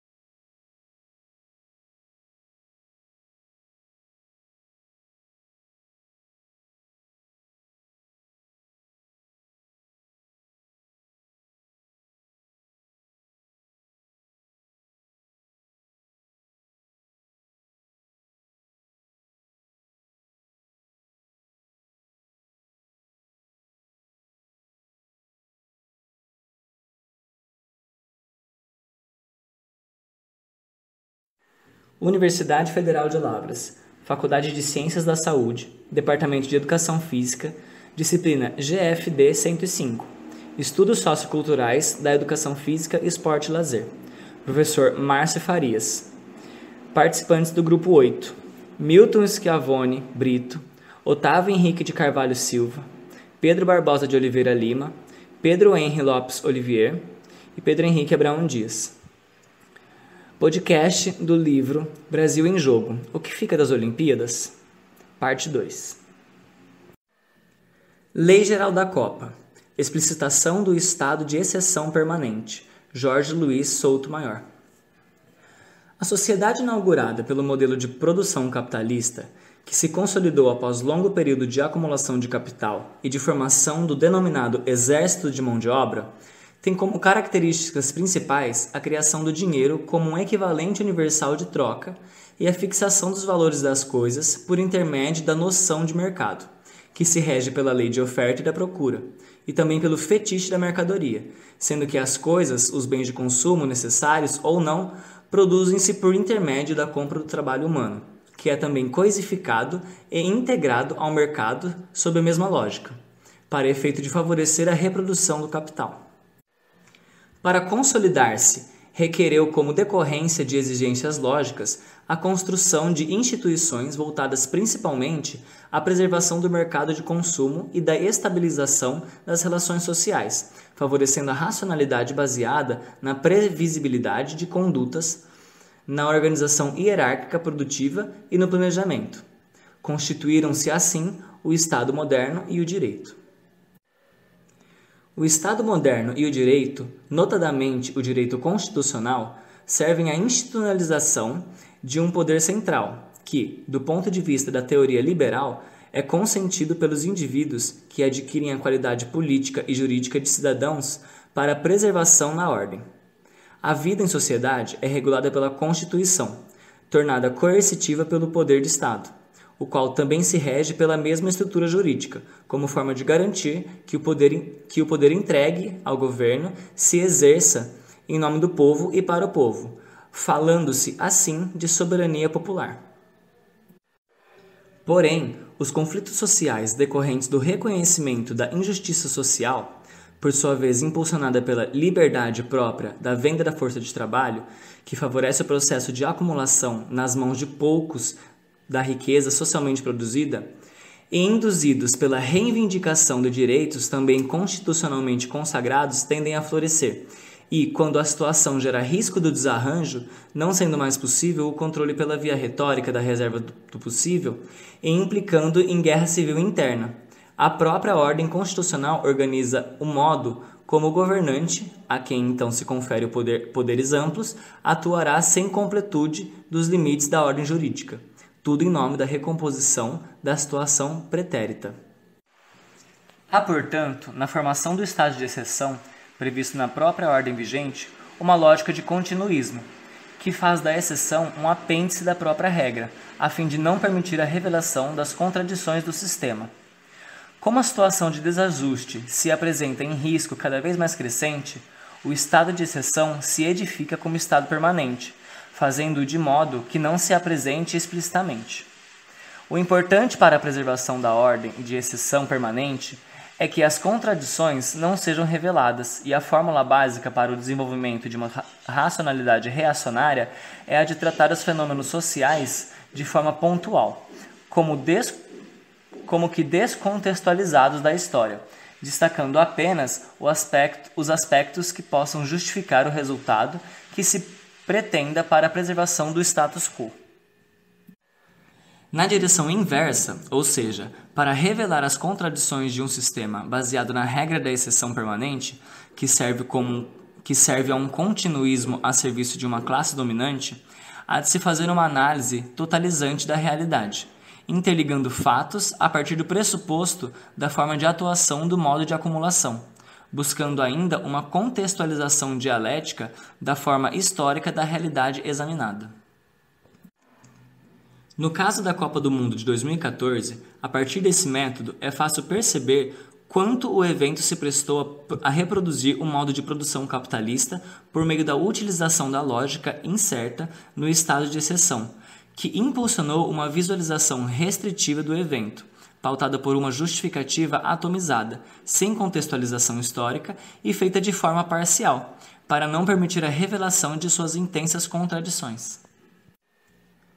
Historicamente, cumpre lembrar que a Lei Geral da Copa, LGC, número 12.663 de 2012, foi assumidamente fruto de um ajuste firmado entre o governo brasileiro e a FIFA, uma entidade privada visando atender os, os denominados padrões FIFA de organização de eventos, para possibilitar a realização da Copa das Confederações em 2013 e a Copa do Mundo em 2014. Esse acordo, com propósitos econômicos e políticos mascarados de felicidade do povo, implicou a suspensão da vigência de várias normas constitucionais. O artigo 11 da referida lei criou uma rua exclusiva para a FIFA e seus parceiros, excluindo até mesmo a possibilidade do funcionamento de estabelecimentos existentes no tal local oficial de competição, que abrange o perímetro de 2 km ao redor do dos estádios caso o comércio em questão se relacione de alguma forma ao evento. Mas a área pública tornada provisoriamente uma propriedade privada não se limita ao entorno dos estádios.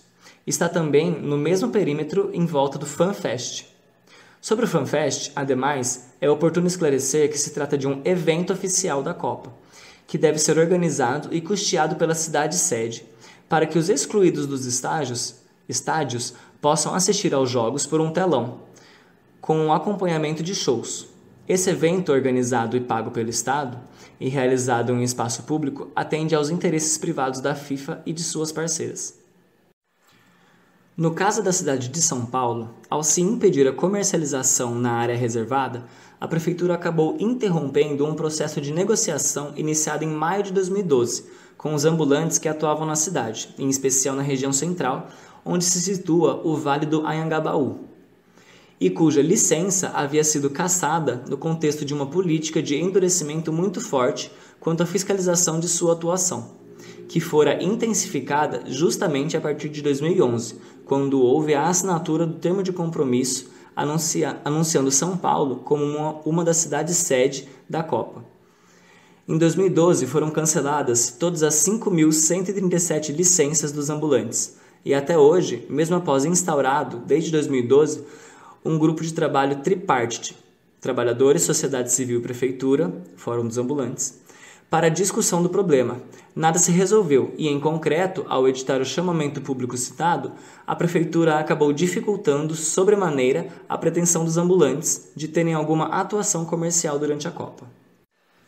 Pela Lei Geral da Copa, ainda, a União obrigou-se a indenizar a FIFA por qualquer lesão sofrida pela entidade, inclusive quanto à transgressão do comércio exclusivo no local oficial anteriormente referido, sendo essa responsabilidade objetiva na forma do parágrafo 6 do artigo 37 da Constituição Federal. A propósito, é oportuno lembrar que não tem sido essa a postura desse mesmo governo no que se refere aos danos causados aos trabalhadores que lhes prestam serviço por intermédio do processo, inconstitucional, diga-se de passagem, da terceirização e muito menos a mesma eficácia jurídica se conferiu aos interesses dos trabalhadores que estão executando as obras da Copa, muitos dos quais submetidos a excessiva jornada de trabalho para que se consiga concluir os serviços. Há suspeitas de não recebimento das horas extras ou recebidas por meio de pagamentos por fora e largos atrasos no pagamento de salários, sem falar nos trágicos acidentes que geraram mortes, não se tendo qualquer notícia no sentido de que o governo tenha intervindo para buscar a eficácia plena dos direitos desrespeitados e para garantir às vítimas uma imediata indenização. Além disso, fez letra morta das normas constitucionais inseridas na órbita dos direitos fundamentais de proteção ao trabalhador, ao permitir o trabalho voluntário nas atividades ligadas à Copa, fazendo-o de modo, isto sim, a institucionalizar o trabalho em condições análogas às de escravidão, uma vez que o que se pretende concretamente é o desprezo aos direitos trabalhistas, contrariando inclusive o próprio compromisso público assumido pelo governo e pela FIFA no que se refere ao trabalho decente, conforme consta expressamente no artigo 29 da própria Lei Geral da Copa. Ora, o trabalho decente é um conceito difundido pela Organização Internacional do Trabalho, exatamente para impedir a execução de trabalhos sem garantias trabalhistas. Verdade que a Lei nº 9608 de 98 de discutível constitucionalidade permite trabalho voluntário, sem a garantia de direitos trabalhistas, mas esse serviço, que pode ser prestado à entidade pública de qualquer natureza ou à instituição privada de fins não lucrativos, deve possuir objetivos cívicos, culturais, educacionais, científicos, recreativos ou de assistência social, inclusive mutualidade. A FIFA está longe de ser uma entidade sem fins lucrativos, e qualquer serviço prestado na Copa do Mundo, mega evento voltado a uma lógica sabidamente econômica, que é ademais o que justificou, na visão do próprio governo, sua realização no Brasil, está longe de possuir alguns, alguns dos objetivos anteriormente destacados. À medida em que a questão a medida em questão auxilia também o interesse econômico do próprio governo brasileiro, que planeja valer-se da previsão normativa de excepcionalidade em questão para angariar o trabalho de até 18 mil voluntários, sendo que a previsão de voluntários da FIFA é de 15 mil. Ou seja, um dos legados concretos da Copa será o histórico de que, durante sua ocorrência, foi negada a condição de cidadania a pelo menos 33 mil pessoas. E por falar nisso, lembremos-nos Lembremos-nos de José Afonso de Oliveira Rodrigues, Raimundo Nonato Lima Costa, Fábio Luiz Pereira, Ronaldo Oliveira dos Santos, Marcleudo de Melo Ferreira, José Antônio do Nascimento, Antônio José Pita Martins e Fábio Hamilton da Cruz, mortos nas obras dos estágios, e das cerca de 170 mil famílias removidas compulsoriamente de suas casas, segundo os dados segundo dados dos comitês populares da Copa, para dar lugar às obras destinadas à realização do evento em Cuiabá, Curitiba, Belo Horizonte, Porto Alegre, Recife, Manaus, São Paulo, Rio de Janeiro e Fortaleza. Não bastassem essas supressões constitucionais, ainda se instituiu o permissivo conferido pela Recomendação número 3 de 2013 do CNJ da exploração do trabalho infantil em atividades ligadas aos jogos, incluindo a de gandula, o que ainda que com bastante atraso, desde 2004, é proibido em torneios organizados pela Confederação Brasileira de Futebol, seguindo a previsão de a previsão constitucional e o Estatuto da Criança e do Adolescente, ECA. A liberdade para a FIFA de atuar no mercado sem qualquer intervenção do Estado, podendo fixar o preço dos ingressos como bem lhe, bem lhe aprouver, artigo 25 da Lei Geral da Copa. A eliminação quase plena do direito à meia entrada e o afastamento da aplicação do Código de Defesa do Consumidor, deixando-se os critérios para cancelamento, devolução e reembolso de ingressos assim como para alocação, realocação, marcação, remarcação e cancelamento de assentos nos locais dos eventos, a definição exclusiva da FIFA. E quando os trabalhadores, saindo da invisibilidade, se apresentaram no cenário político e econômico para se expressarem no sentido de que planejam uma organização coletiva para, por meio de reivindicações grevistas, buscar atrair para si uma parte maior do capital posto em circulação em função da Copa, logo um economista de plantão veio a público com a ameaça de que tais ganhos podem resultar em demissões futuras. Essa possibilidade aventada pelos trabalhadores de se fazerem ouvir na Copa, que pode, em concreto, minimizar seu prejuízo enquanto classe no processo de acumulação e do país na evasão de riquezas, provocou uma reação institucional imediata, Afinal, o compromisso assumido pelo Estado brasileiro foi o de permitir que a FIFA obtivesse o maior lucro de sua história. Então, a Justiça do Trabalho se adiantou divulgando o estabelecimento de um sistema de plantão para julgar, com máxima celeridade, de um dia para o outro, as greves ocorridas durante a Copa, como um pressuposto já anunciado de que as greves têm custo para trabalhadores, empregados, empregadores e população, sendo certo que a Copa não pode ser usada para expor um país à humilhação internacional, como no Carnaval, quando houve greve de garis. A iniciativa repressiva da Justiça, aliás, foi aplaudida rapidamente pelo editorial do jornal Folha de São Paulo, que, inclusive, em declaração no mínimo infeliz, chamou os trabalhadores de oportunistas. É uma iniciativa elogiável para evitar o, o excesso de oportunismo sindical que não hesita em prejudicar o público e ameaçar o principal evento do ano no país. Ou seja, todo mundo pode ganhar, menos os trabalhadores. Parodiando a máxima penal, é como se lhes fosse dito: tudo que vocês ganharem pode ser utilizado contra vocês mesmos. Como foram as condições de trabalho nas obras? Quantos trabalhadores não receberam ainda seus direitos por serviços que prestaram para a realização da Copa? Segundo preconizado pelo viés dessa preocupação, nada disso vem ao caso. Na visão dos na visão dos que só veem imperativo obrigacional de realizar a Copa como questão de honra, custe o que custar, o que importa é que o público receba o proveito do serviço dos trabalhadores. E, se estes não, ganha, não ganham salário digno ou se trabalham em condições indignas, não há como trazer à tona, a fim de que não se impeça a realização do evento nem se abale a imagem do Brasil lá fora. Mas, concretamente, que situação pode constranger mais a figura do Brasil no exterior? O Brasil que faz greves? Ou o Brasil em que os trabalhadores, em geral invisíveis aos olhos das instituições brasileiras, são submetidos a condições subhumanas de trabalho, proibidos de, que, in, proibidos de se insurgirem contra essa situação, tendo de aproveitar o momento de um grande evento para, enfim, ganhar visibilidade, inclusive internacional?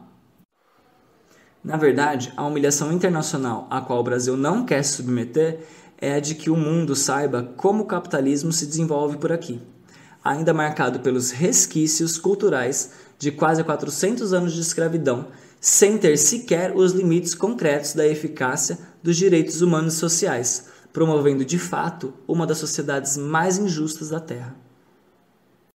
Segue a segunda parte do trabalho de leitura do livro Brasil em Jogo lida por Otávio Henrique de Carvalho Silva, capítulo 5. Transformações na identidade nacional construídas através do futebol. Lições de duas derrotas históricas. José Sérgio Leite Lopes. A comparação entre as explicações para a derrota brasileira no final de 1950 em casa e na de 1998 na França pode ilustrar algumas das transformações na construção e no sentimento de identidade nacional através do futebol no Brasil. Sabe-se que a construção de identidade nacional passa por várias mediações internacionais, desde as condições sociais advindas de transformações históricas até canais de comunicação e uma aguda observação de novos marcadores de nacionalidade de outros países. Na Europa, essa construção teve lugar desde fins do século XVIII e por todo o século XIX. Os países da América Latina, contudo, têm parte fundamental de sua identidade construída já em pleno século XX. No caso do Brasil e de pelo menos dois de seus vizinhos, Uruguai e Argentina, essa fase intensa de tradições inventadas coincidiu com a rápida difusão do futebol no país, quando são instituídas também as Copas do Mundo.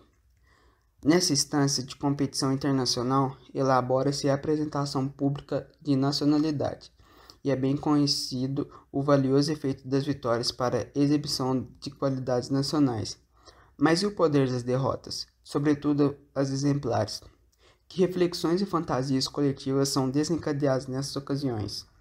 Sobre a derrota brasileira na Copa de 1950, há considerável produção bibliográfica Sobre a de 1998, há muita cobertura jornalística e alguns ensaios.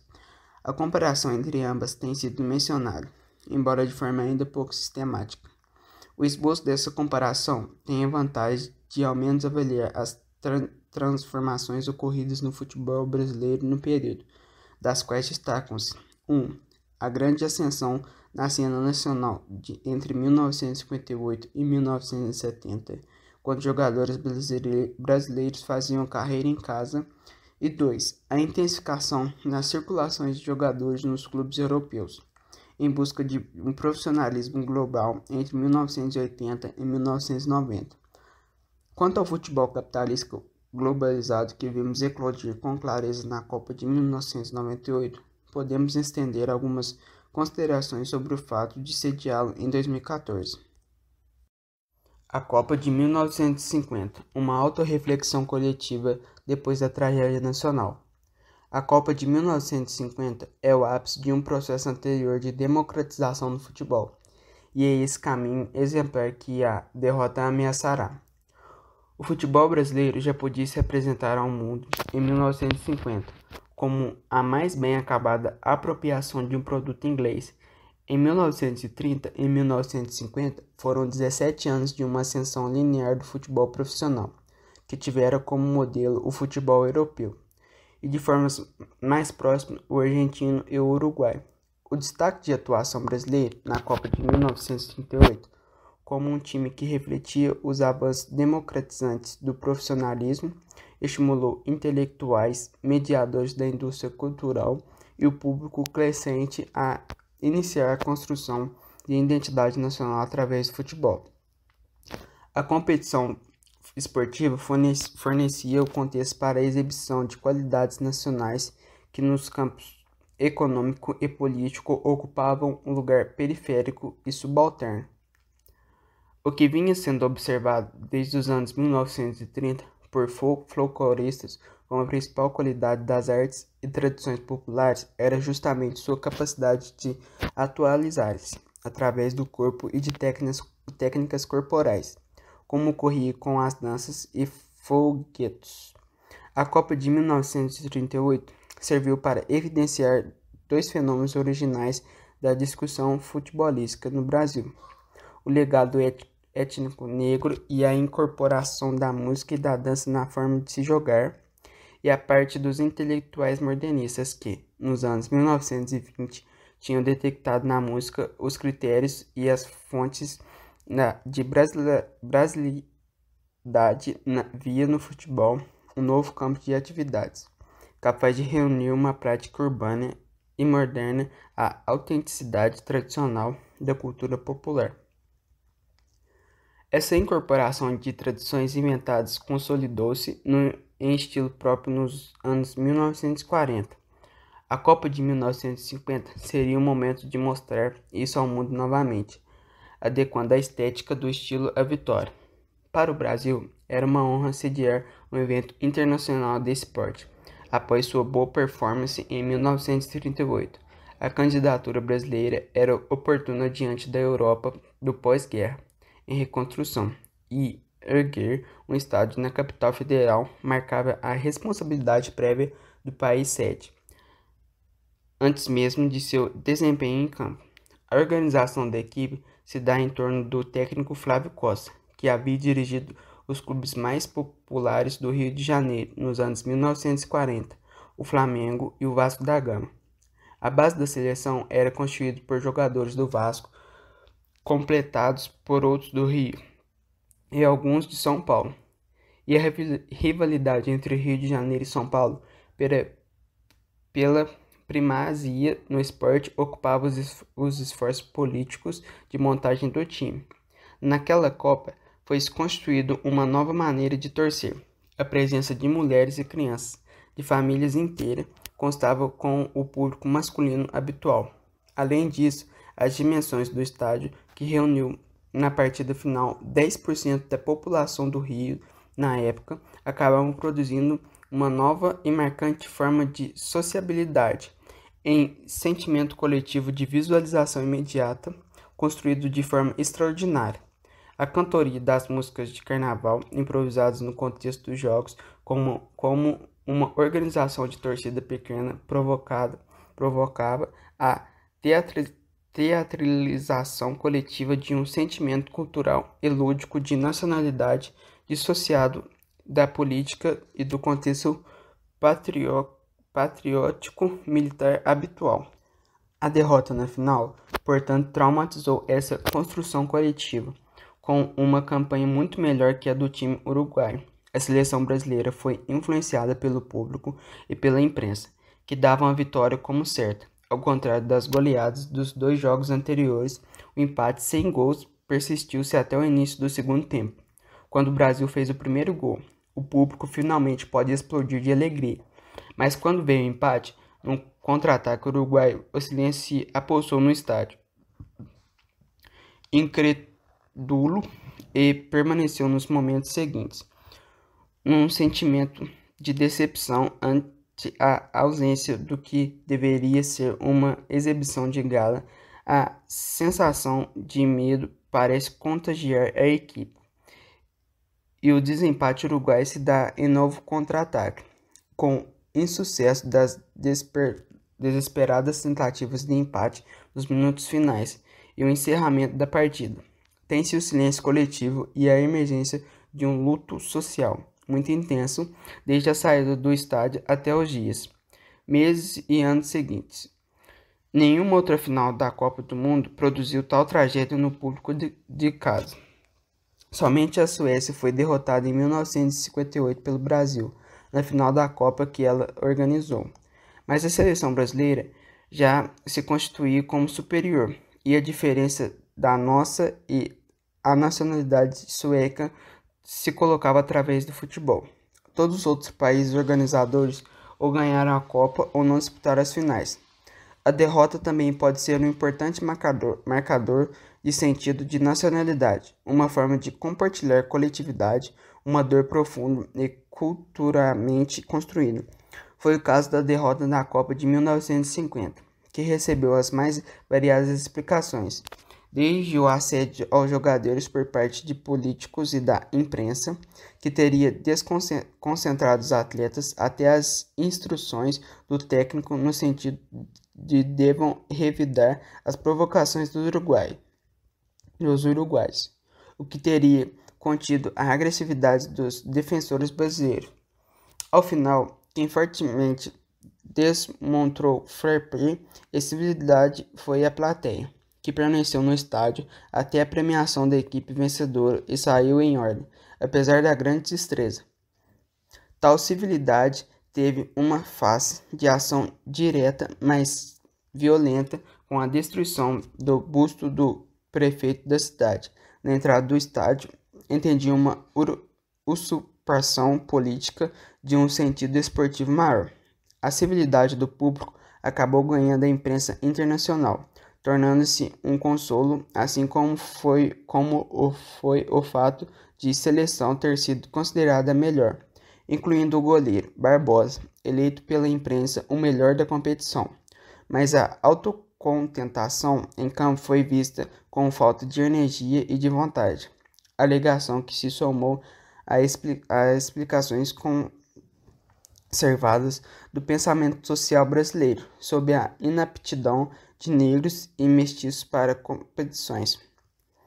Não por acaso os gols uruguais foram creditados como falhas de dois zagueiros e do goleiro, todos negros. Essa perspectiva estaria relacionado com as anteriores práticas dissimuladas da, de exclusão dos jogadores de classes populares, algo que parecia ter enfraquecido o sucesso do clube de maior popularidade nos anos 1930 e 1940, originalmente constatada e criticado por Mário Filho, jornalista militante da democratização do futebol brasileiro.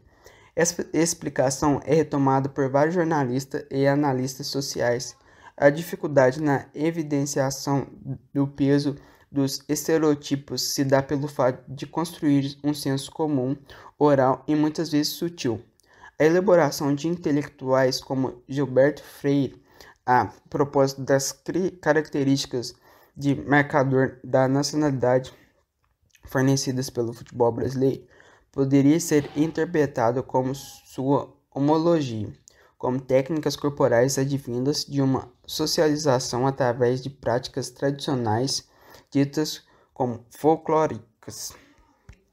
Também poderia ser feita uma interpretação substancialista da contribuição da raça e da etnia negra no futebol brasileiro, como resposta a seus adversários racistas, o que cairia, contudo, na armadilha de se centrar menos nas relações das substâncias. Esses argumentos voltam à cena na derrota de 1950, numa reflexão de autoculpabilização coletiva erudita, proveniente do darwinismo social e popular sobre as alegadas deficiências de mestiçagem do povo brasileiro. Não é à toa que Nelson Rodrigues domina esse sentido de auto, autodepreciativo e complexo, de complexo que vira-latas a fim de combatê-los às vésperas na Copa de 1958, a antever o sucesso do futebol brasileiro. A própria atuação da seleção durante essa edição parece fornecer, através de suas modificações internas, a vitória final da intervenção de estigmatização anterior, como a progressiva morenização dos jogadores. Vide Pelé, Garrincha, Vavá, Zito e Djalma Santos. A vitória finalmente alcançada em 1958 e repetida em 1962 e 1970 pode ter seus efeitos incorporados a uma fonte de sentimento de nacionalidade graças também ao sofrimento e à reflexão coletiva advindos da derrota de 1950. Essa alternância, alternância entre grande oportunidade perdida em casa e vitórias no exterior na continuidade de um mesmo estilo de jogo acabou proporcionando algo de uma exibição das qualidades nacionais, em que as características culturais se imprimem nas técnicas corporais dentro dos limites possíveis das regras do jogo. A Copa de 1998 e a politização da derrota que renega a tradição conquistada. A interpretação da derrota da Copa de 1998, a única na final além da de 1950, difere da anterior, Aí não mais se elabora um processo de culpabilização de jogadores. Como representantes das carências populares e da nacionalidade brasileira, a explicação da derrota voltou-se para a estrutura de profissionalização e do comercialismo globalizado do futebol, assim como seu mau uso pelos dirigentes do esporte. Na Copa de 1998, esta no auge, um processo de internacionalização dos jogadores de futebol iniciado nos anos de 1980. A grande era do futebol brasileiro se deu quando os jogadores faziam carreira no Brasil. Na segunda metade dos anos de 1980 e nos anos de 1990, a maioria dos grandes jogadores brasileiros estavam em clubes estrangeiros. Também os técnicos e seus auxiliares, com muito menos chances que os jogadores do futebol europeu, passaram a ir para o Oriente Médio a partir dos anos de 1970, abrindo uma rede secundária para jogadores. Técnicos da seleção brasileira, como Zagallo, Pereira, Tere Santana e Felipão, estiveram nesses países e ali construíram um bom patrimônio. Assim como em 1950, as vésperas da final de 1998 foram decisivas.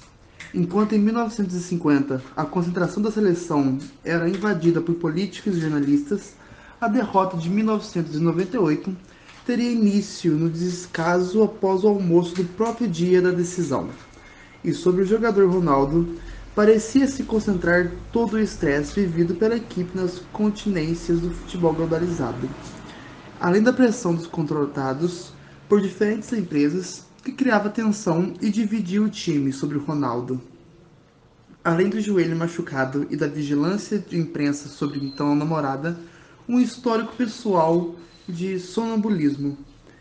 Esse distúrbio do sono teria provocado uma convulsão de diagnóstico controverso que assistia pelos jogadores teria desequilibrado emocionalmente a equipe. A falta de informação entre a equipe dirigente e os jogadores no desenrolar que aconteceu Ronaldo levou à desorientação completa do time. Ao contrário da partida de 1950, em 1998 o Brasil jogou contra a torcida majoritária da casa. Irreconhecível em campo, a seleção perdia por 2 a 0. Já no fim do primeiro tempo, sem conseguir reverter a situação, levou mais um gol ao final da partida. Toda a equipe estava mal e não foi possível associar as falhas a um ou outro jogador como em 1950. Mas Ronaldo, por seu estável de saúde, atraiu a responsabilidade da derrota. Em sua trajetória peculiar, Ronaldo carrega muitas características do padrão tradicional dos jogadores brasileiros. Morador do subúrbio humilde do Rio, tinha dificuldades financeiras para treinar no futebol de salão e na equipe de São Cristóvão, time tradicional da segunda divisão carioca, onde, pelas mãos do ex-campeão de 1970 Jairzinho, conseguiu se fazer nota por olheiros da CBF e ser convocado para a seleção brasileira sub-17 para disputar um torneio sul-americano. Como Pelé, Ronaldo foi convocado para a Copa de 1994, com 16 anos de idade, mas, diferentemente do Rei, não jogou. Além disso, enquanto Pelé permanecia no Santos as Copas seguintes, Ronaldo já havia sido transferido para o PSV na Holanda e depois iria para Barcelona e para o Inter de Milão. Através de seus empresários, assinou sucessivos contratos com empresas de nome mundial, incluindo a Nike, que via na seleção brasileira importante foco de investimentos. No momento da derrota para a França, Ronaldo simbolizava as contradições do futebol globalizado. Os altos salários tinham por contrapartida bom desempenho nos clubes e eventualmente na seleção, mas o ritmo acelerado de treinos, jogos e negócios instalaram fortes incompatibilidades e dramas no corpo do jogador. Ele era, além disso, a ilustração mais radicalizada e bem-sucedida daquilo que estava ocorrendo com inúmeros jogadores do futebol brasileiro e de outros países periféricos. O crescente comercialismo associado à era do alcance mundial das transmissões televisivas e dos contratos milionários de imagem publicitária não só quebra o equilíbrio dos clubes nacionais, como alimenta a importância do esporte perante grandes parcelas da população jovem. Cria-se assim um circuito registrado de superjogadores hiperremunerados, esvaziando preconceituosamente o esporte local. As explicações da derrota de 1998 também diferiam daquelas que se produziam em 1950. Assim, como em 1950 identificava-se a arrogância do favoritismo. Mas com uma grande diferença de que, com as que quatro vitórias anteriores já haviam sido incorporadas para uma história de sucesso, esse autofavoritismo era potencializado pela promoção feita em torno da seleção pela imprensa internacional e pelos patrocinadores, tornando-a uma atração à parte. Bastante explorada em anúncios publicitários, Assim, as explicações visavam menos os jogadores, supostos representantes de um povo com baixa autoestima e uma busca de sua identidade coletiva, como apontava em 1950, e mais os dirigentes que haviam gerido mal todo o favoritismo. Ronaldo, centro do drama, era visto como uma engrenagem a partir de uma estrutura maior, da qual se destacava uma administração sem transparência ou prestação de contas e com contratos secretos com a Nike. Também os jogadores foram considerados mercenários, que sem suficiente amor à camisa jogavam em times estrangeiros pelos salários milionários. A inconformidade com o desfecho do final de 1998 acabou trazendo assim uma politização das explicações da derrota.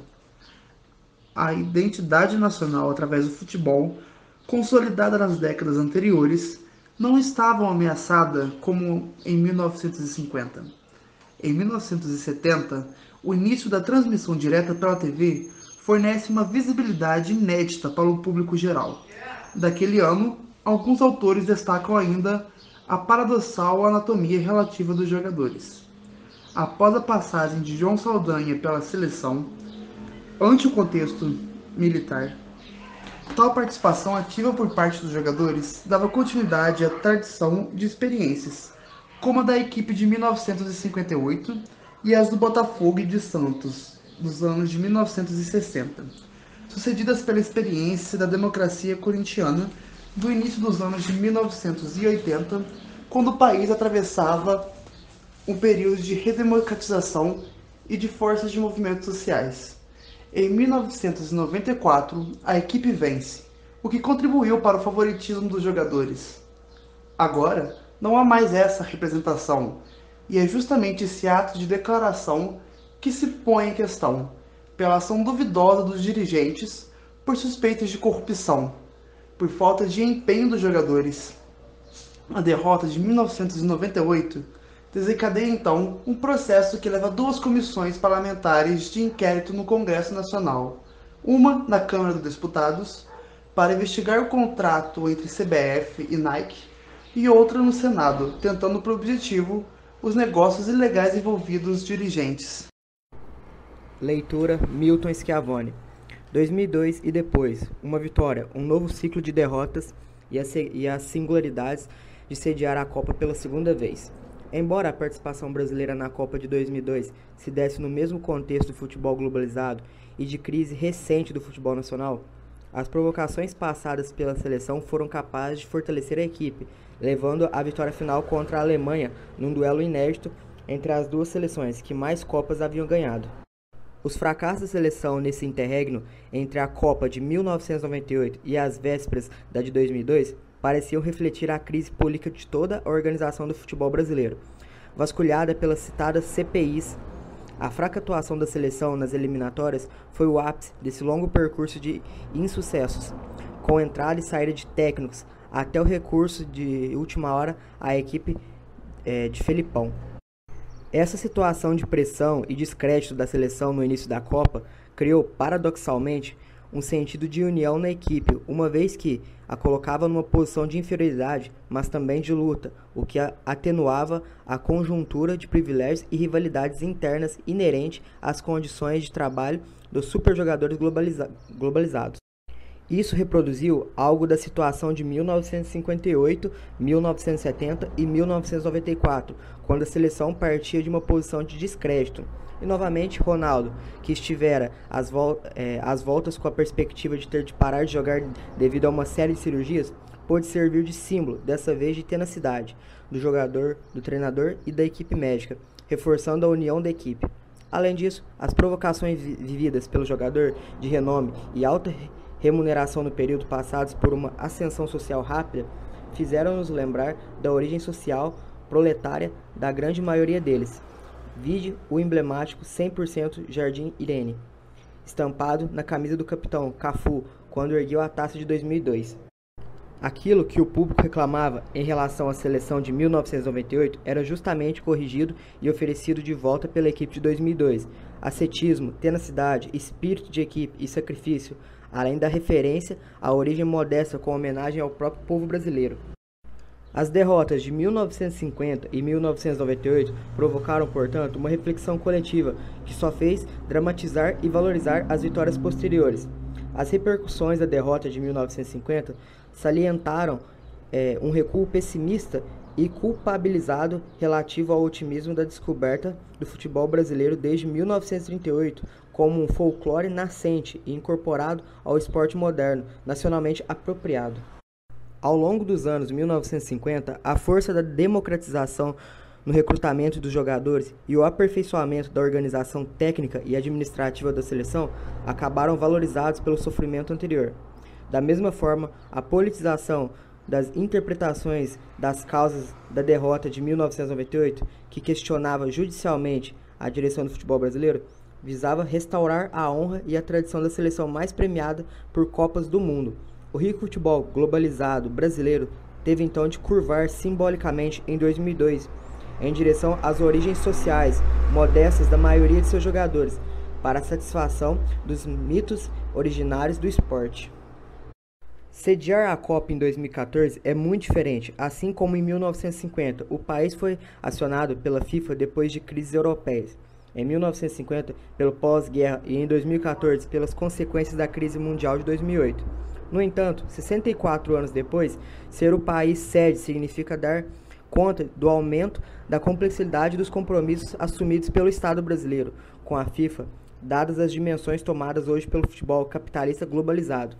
Já na Copa de 1998, a seleção brasileira estava na crise dos patrocínios e da publicidade e recebeu em cheio as consequências desestabilizadoras dessa posição. Na Copa de 2014, são o Estado e suas cidades sedes que sofrem o impacto do sistema FIFA e, sua, e seus, suas patrocinadoras multinacionais. Na altura em que escrevo, em maio de 2014, o que já pode dizer é que efeitos advindos dos processos de sediar a Copa proporcionam um ciclo de manifestação pública de grande importância por melhorias das políticas públicas, forçando governos eleitos com base em compromissos com, com os movimentos sociais a tratarem de destravar suas amarras conservadoras frutos de suas alianças. Em vez da contabilidade simples de custo e benefícios dos, su dos supostos legados, o processo de sediar a Copa tem envolvido, é, tem envolvido a legitimidade dos governantes e das elites econômicas, bem como dos usos da violência das forças policiais diante de cidadãos mobilizados através de meios de comunicação informáticos disseminados. Em vez das esperadas vantagens econômicas e monetárias, a Copa fez surgir uma economia moral, um catalisador de reivindicações. Não é à toa que toda essa mobilização tem ocorrido tendo o futebol como pano de fundo, um esporte hoje dividido entre monopólios do sistema FIFA, por um lado, e suas concepções popular tão estranhamente na identidade nacional, por outro. O fato de ter proporcionado propiciado o debate e a mobilização pública talvez seja um dos legados mais interessantes, ainda que inesperado, desde a Copa de 2014. A massa dos esportes e o capitalismo global. Eu vou dizer uma coisa, logo de cara. Sou criminoso, um criminoso convicto. E este é meu crime. Um tribunal em, em Lausanne, na Suíça, deliberou 10 anos atrás que eu havia demonstrado profundo desprezo para com a COI, seu presidente e seus membros criticando suas personalidades, seu comportamento e sua gestão. Eu era culpado de contar mentiras em benefício próprio. Sou um criminoso porque disse a verdade. Porque revelei que o então presidente do Comitê Olímpico Internacional Juan Antônio Samaré era um fascista de carteirinha, com um passado ligado ao ditador Francisco Franco.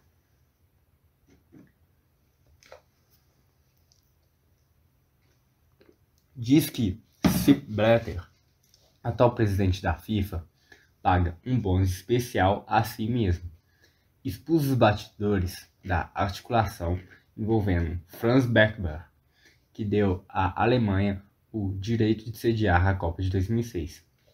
Revelei um propinoduto de centenas de milhares de dólares que beneficiava, entre outros cartolas, João Havaleng e, seus, e seu cunhado, Ricardo Teixeira.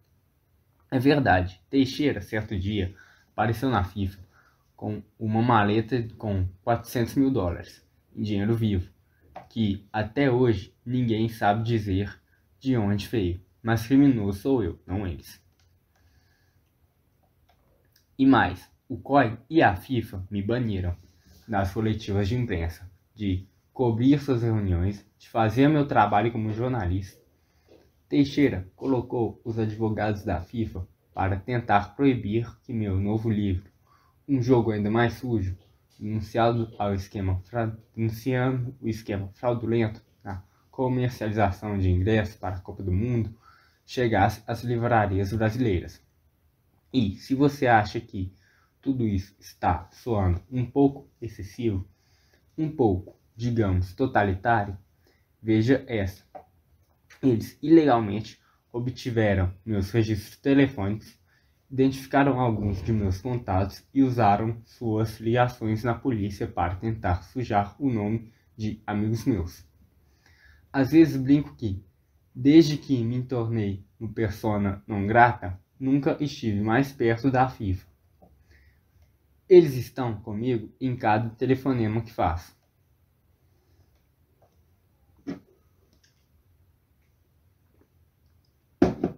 Aprendi minha profissão investigando empresários corruptos.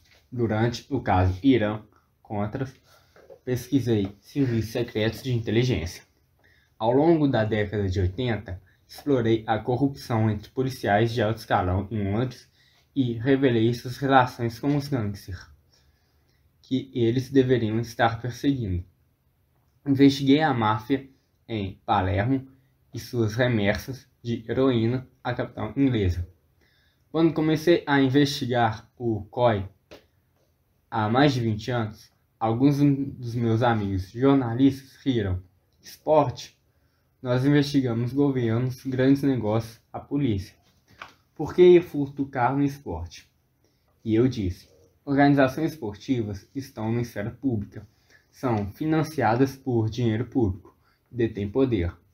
Por que deveriam ficar isentas do exame crítico?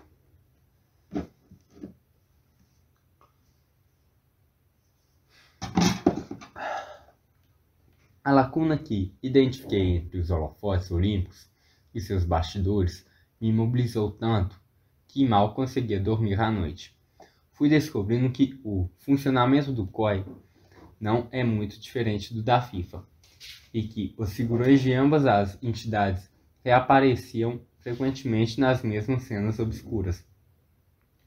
Continuei farejando, aprendendo mais sobre o esporte mundial, ponderando a fissura entre o público e o privado, e vi que a história ia mais fundo e era sombria. Estudei Horst Dassler, antigo chefe da Adidas. Aprendi com ele. Alcance começou na década de 60 a investir tempo, dinheiro e as influências de sua companhia para colocar homens úteis em carros de poder.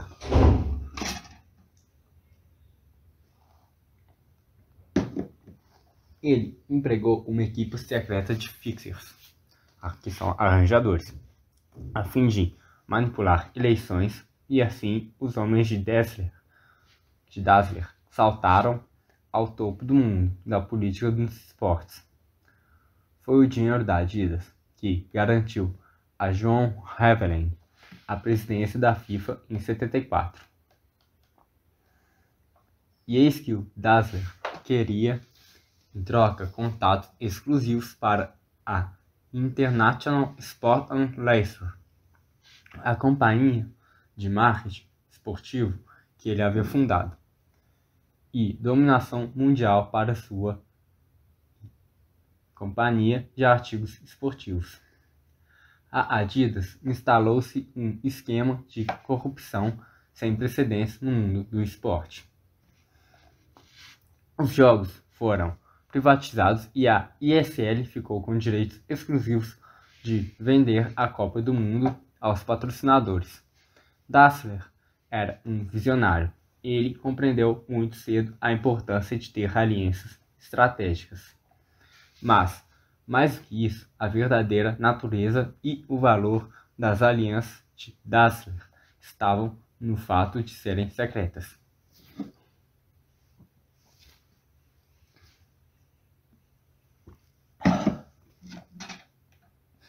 Juan Antônio Samaranch era um desses homens estratégicos de Dassler.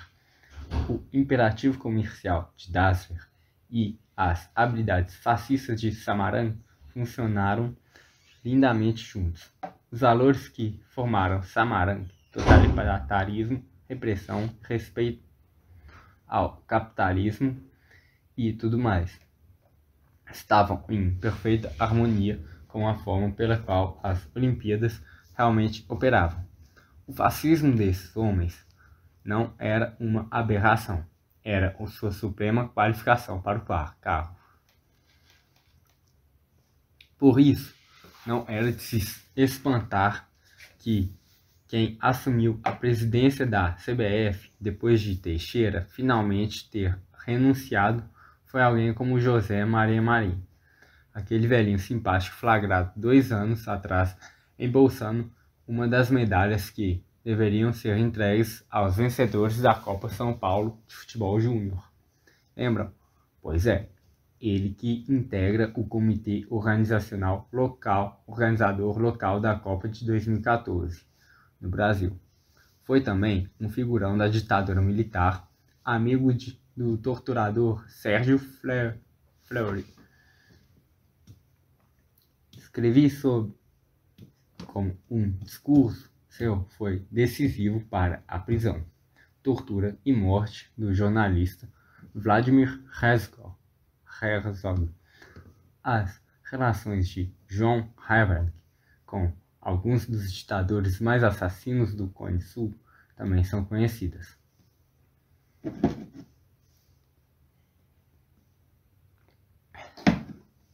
Gostaria de dizer que suei muito para descobrir isso tudo, mas o pior é que não foi tão difícil. O passado fascista de Samaran e de José Maria Marim eram fatos. Tudo que fiz foi olhar para eles. Sem pressa, sem concorrência, os jornalistas especializados já estavam de mãos cheias, cheios de relés oficiais de imprensa e esperança de um dia se tornarem porta-vozes ou assessores dos sujeitos sobre os quais escreviam. Vez ou outra, as cidades concorrentes reclamavam de ter, que, de, ter de comprar votos da, COI. A informação estava lá, mas ninguém falou nada a respeito até o escândalo de Salt Lake, quando o fedor estava tão grande que o próprio presidente do COI teve que admitir.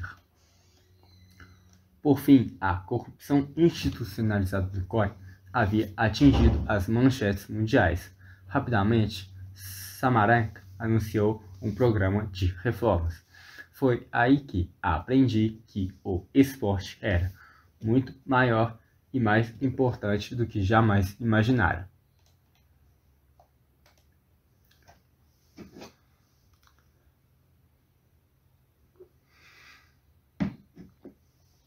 O programa de reformas de Samarém era organizado pela Hill e Knowlton Strategies, empresa multinacional de Relações Públicas e um de seus figurões era ninguém menos que Henry Kinsker. Esse não é o tipo de gente que vocês chamam para lançar uma nova marca de rino. A Hill Norton possui spin doctors, os assessores de imagem que o capitalismo global convoca quando está em apuros. Quando as grandes empresas por trás do tabaco queriam que acreditássemos que fumar não era uma questão de saúde, chamaram a Hill e Norton. E Kissinger não mudou desde que fez seu nome bombardeando a, o Camboja, pavimentando o mundo para o capital estadunidense. Ele não se aposentou, virou freelancer. Sua firma de consultoria internacional, a Kissinger Associates, aconselhou, entre os outros gigantes, a Coca-Cola, a American Express, a Freeport Maxon, Mulholland Minerals e a JP Morgan Chase.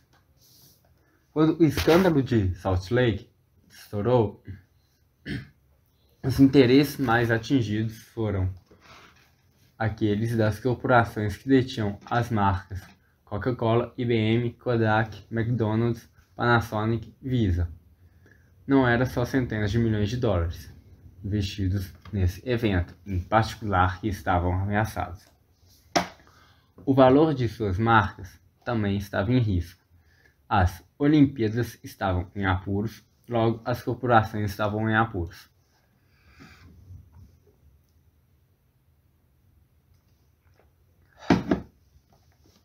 Então, os supremos mercenários de manipulação mental do capital Kinsinger e a Hill e Norton vieram ao resgate.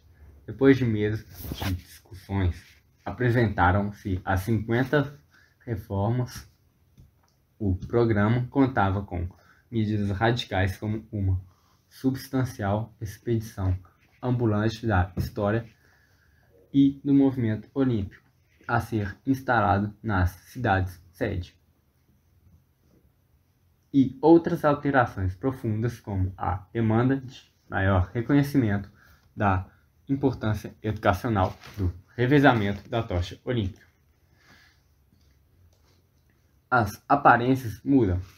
O jogo se reconfigura para permanecer no mesmo. Nos últimos anos, antes de quebrar, a ISL ocupava um belo bloco de escritórios em Zug, na Suíça. Há uma nova companhia de marketing esportivo lá agora, no mesmo lugar. Chama-se Infront, que detém é, contratos de transmissão de vendas semelhantes aos da ISL. Como conseguiram esse incrível negócio? Não vou entrar em detalhes, mas dou uma dica.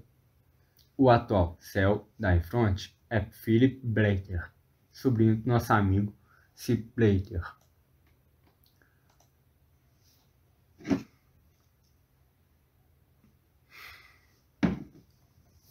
Mas por que o capital gosta tanto de esporte? Esta é minha teoria. Esporte é tão velho quanto nós. É como treinamos para a caça de, para a batalha.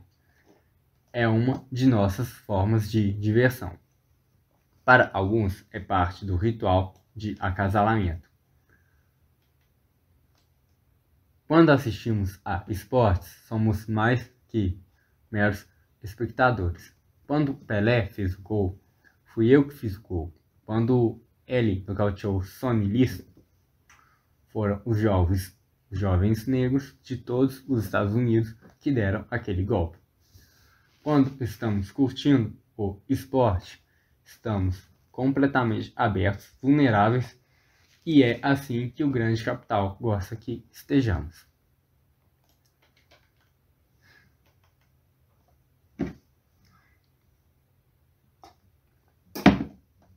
Lembrem-se do que diz Antônio Gramsci como ter uma revolução quando o inimigo tem um posto avançado em sua mente. O esporte dá às corporações esse posto avançado em nossas mentes. É, tradicionalmente, a Coca-Cola era vista como símbolo da exploração capitalista.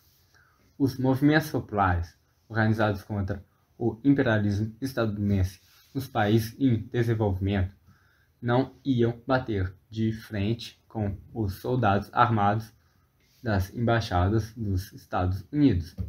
Marchavam até a fábrica local da Coca-Cola e tacavam fogo no lugar. Por que não fazem mais isso? Vá até qualquer evento de futebol em algum país em desenvolvimento, estará saturado de emblemas e slogans da Coca-Cola. O revezamento da tocha olímpica foi vendido à Coca-Cola há muito tempo. Hoje é ela que traz a taça da FIFA a você. O tour do troféu da Copa, o que é David Beckham? Eu diria que ele é uma marca e sua riqueza pessoal estupenda. Isso reflete como seu sucesso em campo, sua beleza física e as fofocas sobre sua vida privada combinam para produzir um poder forte o suficiente para nos levar a comprar Vodafone ou Gillette. David Beckham, a marca, é uma ferramenta do capitalismo. Capitalismo cuja sobrevivência depende do crescimento a qualquer custo. E então, tocar o futebol mundial é hoje uma operação destinada a servir corporações. Corporações precisam atingir milhões de consumidores, o que exige, portanto, muita audiência televisiva. Multidões exigem heróis, artilheiros, recordistas. A raça humana evolui devagar demais para quebrar recordes com a frequência satisfatória. E aí vem os médicos do doping com a cura. Esportistas não precisam de doping. Patrocinadores precisam. E o mesmo vale para o futebol. O jogo bonito é é e não é. Quando você assiste a futebol de classe e vê a cabeçada perfeita, encontrar o cruzamento perfeito e a bola voando para dentro do gol, não é lindo?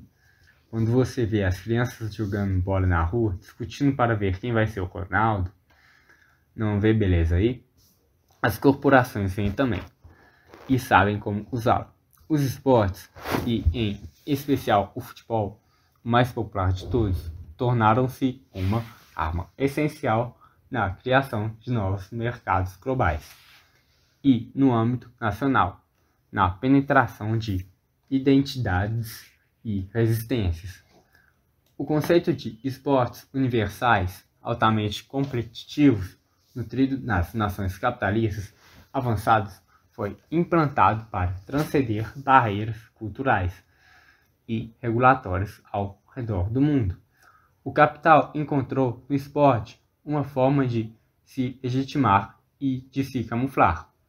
Os intermediários, as agências de marketing, secretamente lavavam os subornos que alinharam as mentes por trás do esporte com as necessidades das marcas globais.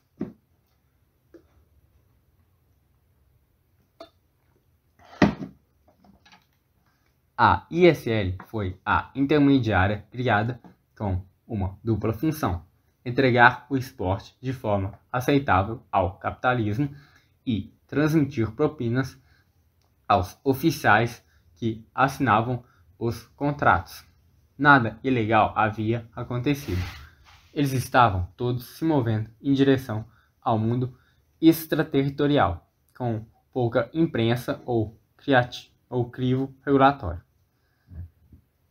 com uma determinação candente de lucrar com o esporte.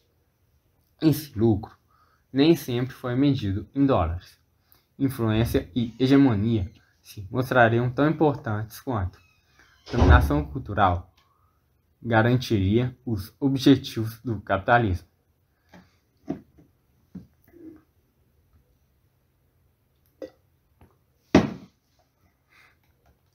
Quando a Rede Globo recebeu no ano passado uma multa equivalente a 615 milhões da Receita Federal por sonegação na compra dos direitos de transmissão da Copa de 2002, alegou que a negociação com a ISL e a Kirsch via paraíso fiscal não era crime, mas simplesmente um planejamento tributário. Hoje, parceiros como Visa, Adidas, McDonald's e Samsung, entre outros, conseguem uma fantástica isenção fiscal, de exceção por meio da lei da FIFA. Romário lutou contra ela, mas Dilma forçou sua aprovação. Se eles não pagam os impostos, os brasileiros pagam, e isso é roubo.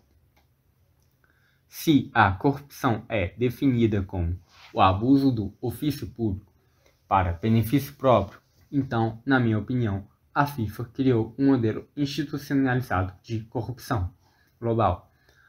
A FIFA exporta corrupção de Zurique ao mundo, ao mundo, junto ao COI reivindica autonomia para o esporte, alegando que governos não devem ter permissão de interferir na independência das federações esportivas. E a sugestão de que essas federações devem operar acima da lei é aceita pela maior parte dos governos na maior parte do tempo. Até quando?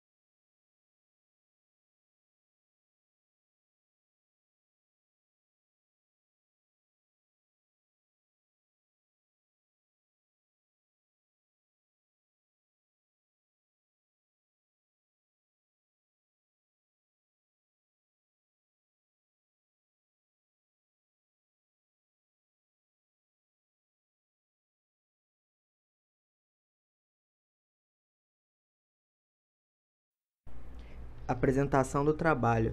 Universidade Federal de Lavras, disciplina GFD 105, Estudos Socioculturais da Educação Física, Esporte e Lazer. Professor Márcio Farias, discentes Milton Schiavone Brito, Otávio Henrique de Carvalho Silva, Pedro Barbosa de Oliveira Lima, Pedro Henrique Lopes Olivier, Pedro Henrique Abraão Dias. Leitura do texto. Para além dos jogos, os grandes eventos esportivos e a agenda do seu desenvolvimento nacional. A motivação do Brasil para sediar a Copa do Mundo e as Olimpíadas, os dois maiores eventos esportivos e mediáticos do planeta, não foi obter a aprovação mundial como anfitrião de grandes eventos ou passar nos testes de logísticas e organização, embora estes sejam quesitos de fundamental importância. A oportunidade de sediar os dois mega eventos em sequência não se resume à construção e à modernização de estádios e equipamentos esportivos. O que motivou o Brasil a recebê-los foi identificar neles uma chance única, uma janela singular e histórica de oportunidades para fortalecer e acelerar seu desenvolvimento. Os países centrais se valem de uma infraestrutura de serviços prévia na, ocasi na ocasião de sediar os Jogos. O papel desempenhado nos Jogos Olímpicos de 2012 pelo sistema de transporte público de Londres, criação do século XIX, quando a Inglaterra se tornou a oficina, em algum, entre aspas, do mundo por ser papel precursor e dominante na Revolução Industrial, é um exemplo disso. O Brasil do século XXI é um país em desenvolvimento de dimensões continentais. A realização dos Jogos aqui se constitui em oportunidades para, simultaneamente, organizar os eventos de maior repercussão do planeta e acelerar a montagem da infraestrutura necessária para o desenvolvimento do país, além de proporcionar o fortalecimento e a expansão de políticas públicas garantidoras de direitos da cidadania e alavancar cadeias produtivas e inovadoras em âmbito nacional e regional. Nas condições enfrentadas pelo Brasil, o esforço de estruturação de um novo projeto de desenvolvimento nacional se confronta com pesadas heranças do período neoliberal anterior, que procurou amarrar o país aos circuitos globais de acumulação financeira.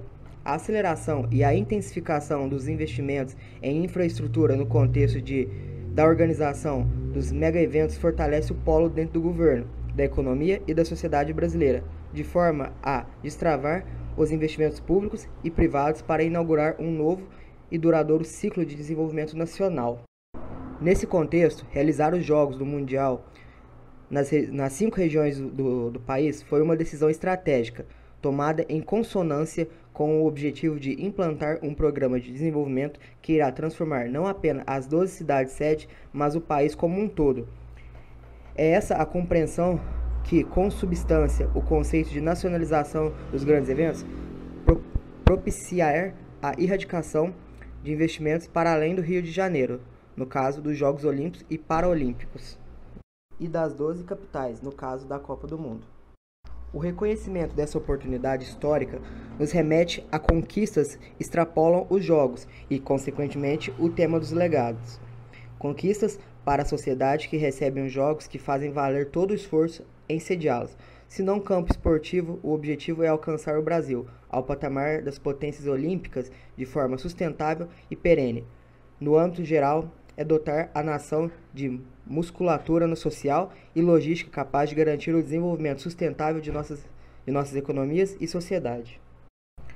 Para que esses resultados se materializem, é necessário que a oportunidade histórica fornecida pelos mega eventos esportivos seja reconhecida tanto pelos di dirigentes públicos quanto pela sociedade brasileira, pelos dirigentes, porque a realização desse legado depende da implementação de políticas públicas nos três níveis de governo, de forma a possibilitar o desenvolvimento de projetos estruturantes em distantes dimensões, e pela sociedade, porque os legados contemplam anseios e demandas populares, inclusive os expressos nas manifestações de junho de 2013. Na dimensão urbana, as iniciativas geradoras de legado visam garantir melhores condições de vida nas cidades com projetos estruturantes de mobilidade, transportes públicos, saneamento e, e, e habitação. Em termos de logística e de infraestrutura, objeti objetivam erguer, modernizar e ampliar equipamentos e serviços que geram um melhor ambiente para a realização dos eventos, mas que permaneçam como benefícios permanentes para a sociedade. Na economia, fomentam o crescimento e redução de desigualdades e a geração de empregos. No campo esportivo, tem como meta a construção e a modernização das instalações que sediarão os Jogos, a ampliação da infraestrutura e a implementação de políticas de fomento para a atividade esportiva em todo o país. Na área social, tem como meta a ampliação dos direitos do cidadão e a melhoria da qualidade dos serviços públicos em educação, saúde, acessibilidade, segurança e defesa. Na esfera sociocultural, objetivam a valorização da identidade e da autoestima nacional, em, em suas múltiplas e variadas expressões. Para o meio da autoestima nacional e para o meio, do, é, e para o meio ambiente, trazem a incorporação do princípio de sustentabilidade ao conjunto de empreendimentos e iniciativas associadas aos eventos, e na dimensão política consolidam um novo e fundamental modelo de gestão integrada entre os três níveis de governo do Estado brasileiro. O legado em construção. O plano estratégico de investimento do Estado brasileiro para os dois eventos está materializado na matriz de responsabilidade da Copa do Mundo e no plano de aceleração de investimentos em políticas públicas dos Jogos Olímpicos e Paraolímpicos. Em ambos os casos, esses investimentos recebem tratamento especial do Estado, não mais contando para cálculo dos limites de endividamento dos entes da federação e podendo ser contratados através do sistema mais ágil do regime diferenciado de construções RDC. O objetivo é destravar investimentos públicos necessários para o desenvolvimento nacional e viabilizar seu impacto estruturante subtraindo esses recursos dos circuitos de acumulação rentista associados aos mecanismos de superávit primário das contas públicas. Ao contrário do que afirma a cobertura dominante na mídia monopolista, porta-voz porta desses mesmos interesses rentistas, o grosso dos recursos públicos mobilizados no contexto da preparação não constitui, entre aspas, custos da Copa ou dos Jogos Olímpicos, e sim investimentos produtivos em infraestrutura nacional definidos de forma autônoma pelo Estado brasileiro. As arenas multiuso fundamentais para a modernização do negócio futebolístico são parte desse plano estratégico de investimento, mas não estão longe de ser vertentes de ser a vertente principal. A mobilidade urbana, com obras de novos sistemas viários e de transporte público, BRT, VLT e metrô, entre outros, configura-se como o destaque de um plano que projeta no horizonte a transformação da qualidade de vida dos habitantes de nossas cidades. Os aeroportos, com demanda crescente graças à ascensão social de camadas beneficiadas pelo crescimento econômico e pela redução da desigualdade no país, necessitavam de ampliação e aprimoramento da gestão, independentemente da realização dos grandes eventos esportivos. Já os portos ganham, ganham espaço e estrutura para receber cruzeiros internacionais e intensificar turismos interno. No setor de telecomunicações, a realização do Mundial acelerou a implementação do Programa Nacional de Banda Larga, PNBL, no país, ampliando o acesso de grande parte da população à tecnologia. As 12 cidades sede receberam cabeamento de fibra ótica para comportar o tráfego de informações gerado pelo evento, em função dos investimentos realizados pela primeira vez, as universidades e os institutos de pesquisa da região amazônica passaram a estar plenamente conectados por fibra ótica à Rede Nacional de Pesquisa, RPN. No âmbito nacional, a rede implantada tem potencial de atendimento de 11.184.504 domicílios urbanos da sociedade sede, o equivalente a 22,7% do total de domicílios urbanos brasileiros. A ampliação das telecomunicações gerou legados para além da, da cidade-sede, pois as operadoras que venceram as licitações para implementação de, da telefonia móvel 4G nas cidades tiveram de fornecer como contrapartida serviços de cobertura para atender as áreas rurais do país. No Mundial, as 12 sedes serão abarcadas, mais do que agregar confiabilidade às ligações telefônicas e velocidade aos aplicativos e downloads executados pelos celulares, trata-se de estruturar uma base tecnológica para abrir portas ao desenvolvimento econômico. O plano de banda larga diminui as distâncias físicas, amplia a oferta de oportunidades de negócio e, como consequência, atua como vetor para reduzir as desigualdades regionais, Tudo isso num cenário que se completa com, importante investimento, com importantes investimentos da iniciativa privada. A realização dos jogos apresenta oportunidades para investimento da regeneração e no desenvolvimento de áreas degradadas dos nossos centros urbanos. No Rio de Janeiro, o projeto Porto Maravilha vem recuperar e vitalizar o centro histórico da cidade, inaugurando uma área marcada tanto pela beleza quanto pela funcionalidade, ao mesmo tempo residencial e comercial, doméstica e turística. Outro exemplo carioca pode ser conferido em Deodoro, legado dos Jogos Pan-Americanos de 2007. O centro esportivo foi alçado a condições de complexo olímpico, complementar ao parque, ao parque principal na Barra da Tijuca, e já é responsável pela descoberta de talentos em modalidades há pouco tempo ainda desconhecidas no Brasil, como o hóquei sobre a grama, o tiro esportivo e o pentátulo moderno.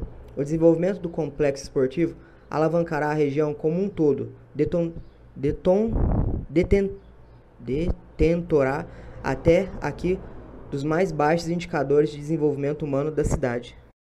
Itaquera, bairro, paulista, bairro paulistano, com os mais baixos índices de desenvolvimento social, foi escolhido como palco da abertura da Copa do Mundo.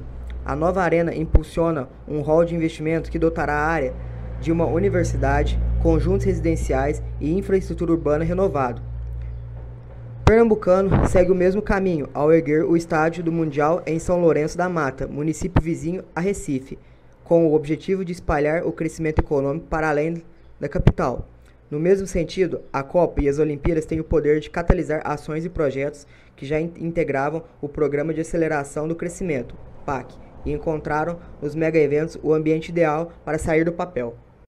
Os Jogos da Copa foram responsáveis, mesmo antes de terem início, por uma mudança substantiva na operação de 40 mil micro pequenas empresas. O programa Sebrae 2014, através de um sistema de coaching, preparou essas empresas segundo críticas, critérios de competitividade para apresentá-las a potenciais comprovadores de serviço, hotéis credenciados pela FIFA, empresas de construção civil em rotas de negócio, que renderam até o fechamento deste texto mais de 350 milhões em vendas adicionais. O Sebrae estima que até o final dos jogos essa cifra irá totalizar 500 milhões, mas o grande legado aqui não se resume ao lucro financeiro que a Copa irá proporcionar. Está na capacitação dessas empresas e na inserção delas de forma mais competitiva no mercado, pois aprenderam a trabalhar dentro dos padrões de, de certificações exigidos, treinaram seus quadros e absorveram tecnologia. Estudos de consultorias privadas estimam que a Copa e os Jogos Olímpicos agregarão 183 bilhões ao produto interno bruto, o PIB, brasileiro em até 2019. Em contexto de prolongada crise mundial, tal movimentação econômica tem evidente efeito anti, anti, anticlínico. Segundo estudo da, FIFA, da FIF, FIP, só a Copa das Confederações rendeu 9,7 bilhões adicionais ao PIB nacional no setor turístico.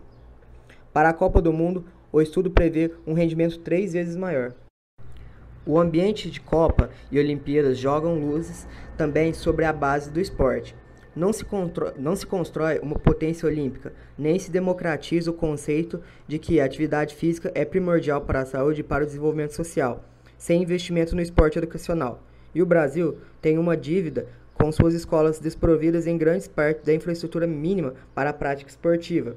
É nessa perspectiva de resgate que o governo federal está construindo 6 mil ginásios e cobrindo 4 mil quadras em escolas públicas. Parcerias do Ministério do Esporte com o MEC e as Forças Armadas beneficiarão 7 milhões de estudantes em 2014 através dos programas Segundo Tempo, Mais Educação e Força nos Esportes. O fortalecimento da escola, aliado à construção de centros de iniciação ao esporte, CIES, em todo o país, cria as condições para a revelação de talentos que serão direcionados ao alto rendimento. E com a integração de centros esportivos regionais e a consolidação de uma rede nacional de treinamento, refina-se o conceito de democratização da atividade física para a construção de uma sociedade saudável. O desfile de ídolos internacionais só aumenta o interesse da juventude pelas atividades esportivas. Na outra ponta, o próprio Parque Olímpico da Barra da Tijuca sediará, após o evento, o Instituto Brasileiro do Esporte, agregando em rede o que há de mais avançado na produção científica e tecnológica nacional para apoiar o esporte de alto rendimento. O legado de gestão pública já é a realidade na segurança e na saúde. Esses setores experimentarão inovações de gestão com centros integrados de comando e controle que, ainda que detenham aparelhagem de última geração, não se resumem ao uso da tecnologia. Estabelecem na base de sua operação a integração das variadas forças de segurança e dessas com as forças armadas, possibilitando o compartilhamento de informações, a tomada de decisões e uma coordenação de ações eficientes. O novo marco regulatório da saúde em eventos de massa conduzido pelo Ministério da Saúde e pela Agência Nacional de Vigilância Sanitária, Anvisa, também deve à Copa e aos Jogos Olímpicos a oportunidade de desenvolver uma política pública estruturante e duradoura. Na área ambiental, a realização do Mundial alavancou a questão da sustentabilidade do país.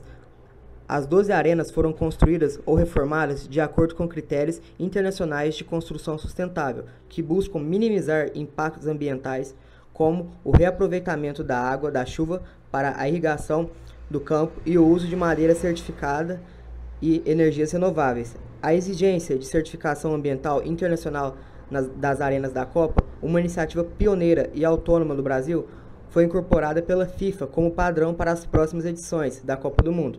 Na prática, estabeleceu-se um padrão Brasil de sustentabilidade dos estádios nas Copas do Mundo. Esses e outros exemplos mostram como é equivocada a visão que supõe existir um antagonismo entre sediar os mega-eventos esportivos no Brasil e ampliar os investimentos em saúde e educação no país. Ao contrário, partindo de uma visão ampla dos legados que esses eventos deixam, a Copa do Mundo de 2014 e os Jogos Olímpicos e Paralímpicos de 2016 propiciam uma oportunidade histórica para ampliar os investimentos em saúde, educação e outros serviços públicos e direitos de cidadania, alavancando o esforço contínuo empreendido pelo Brasil para sustentar a secular a pesada dívida social que marca nossa sociedade. No que concerne especificamente aos custos associados à construção e ou modernização dos estádios que serão usados na Copa, é importante colocar a questão em perspectiva. O custo global desses estádios totalizou 8 bilhões. Os recursos investidos pelo governo federal representam metade desses valores e são oriundos de uma linha especial de financiamento do BNDES, que são concorrentes que não concorrem com recursos destinados à saúde e educação, cuja origem é o Orçamento Geral da União. Desde que foi escolhido como país sede da Copa, os investimentos em educação no Brasil triplicaram e, em saúde, mais do que dobraram. De 2010 a 2014, apenas os investimentos do governo federal em saúde e educação, sem contar os de estudos em municípios, totalizaram 825 bilhões. Ou seja, ainda que concorressem com investimentos em, em saúde e educação, o que, como vimos, não é o caso nos financiamentos do BNDES, o custo total dos estádios que serão usados na Copa não chega a 1% dos recursos orça, orça, orçamentários federais aplicados nas, nas duas áreas.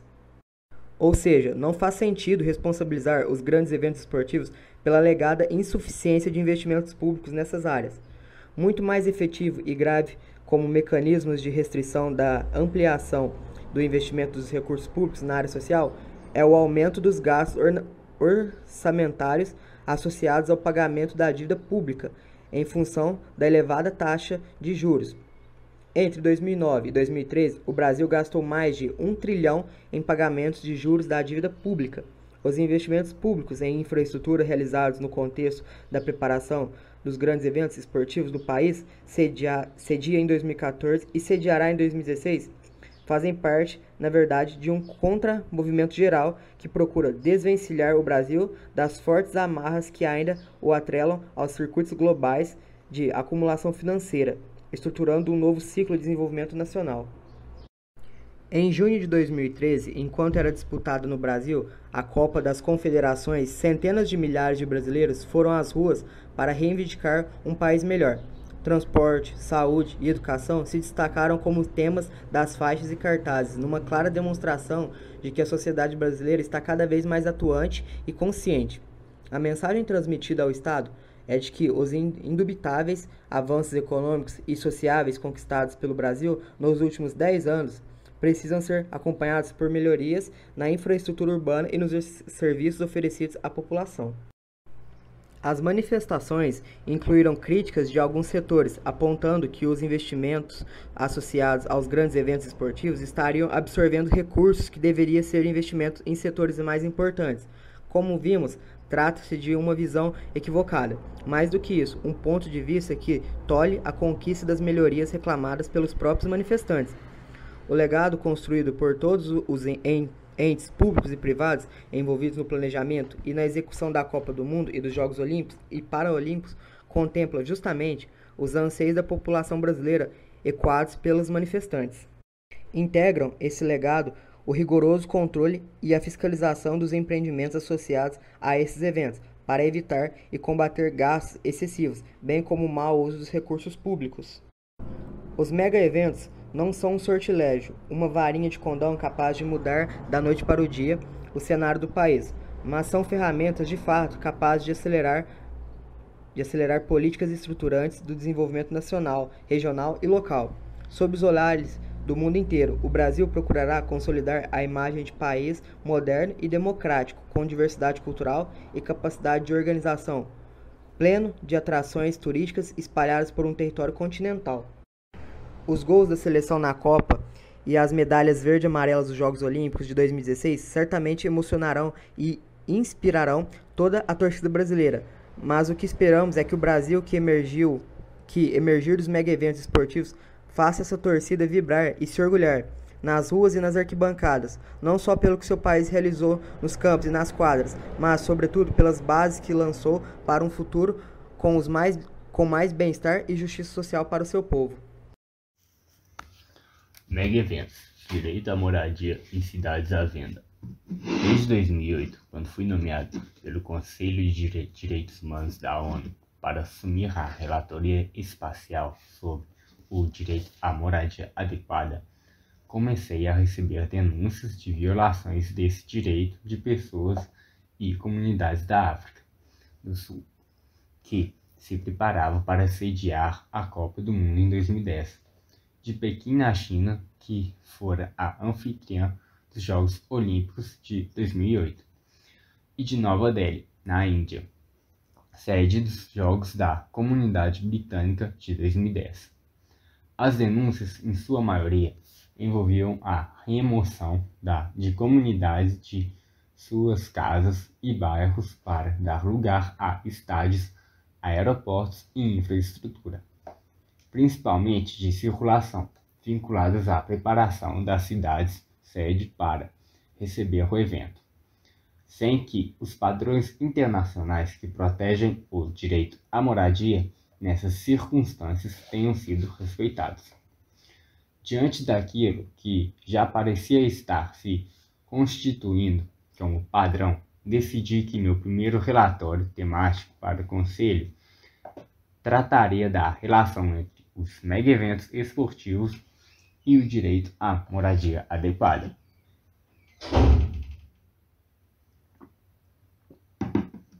Até os anos 1930, os Jogos Olímpicos e outros eventos esportivos deixavam poucas marcas na paisagem urbana. Em 1932, a cidade de Los Angeles utilizou os Jogos como oportunidade para estimular a economia local e construiu a primeira vila olímpica, com características de moradia permanente. Outros países sete repetiram a forma.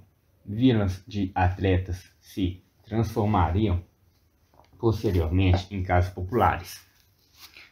Os Jogos Pan-Americanos de São Paulo, em 1963, deixaram para a cidade as raras moradias estudantis subsidiadas e existentes.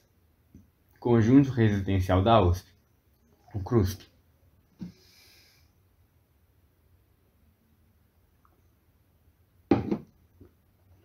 Desde a Segunda Guerra Mundial, os jogos ganharam força política, atraindo o apoio dos governos para a promoção do esporte do ponto de vista da integração social o que incluía a construção de infraestrutura pública para a promoção das atividades esportivas.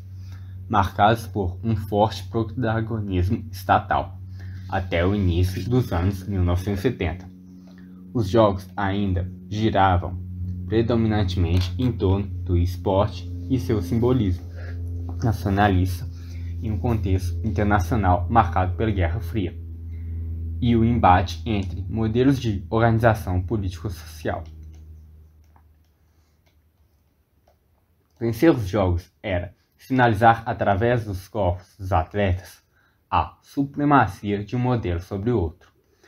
No início dos anos 1980, começa a ganhar espaço a combinação da organização de eventos esportivos internacionais com os processos de transformação urbana, acompanhados de uma política de construção de infraestrutura esportiva em zonas centrais como estratégia de renovação do centro das cidades. Essa mudança está diretamente relacionada à participação crescente das corporações privadas na promoção dos jogos e às mudanças ocorridas na política urbana, sob um marco da ascensão do neoliberalismo como doutrina e prática econômico-política.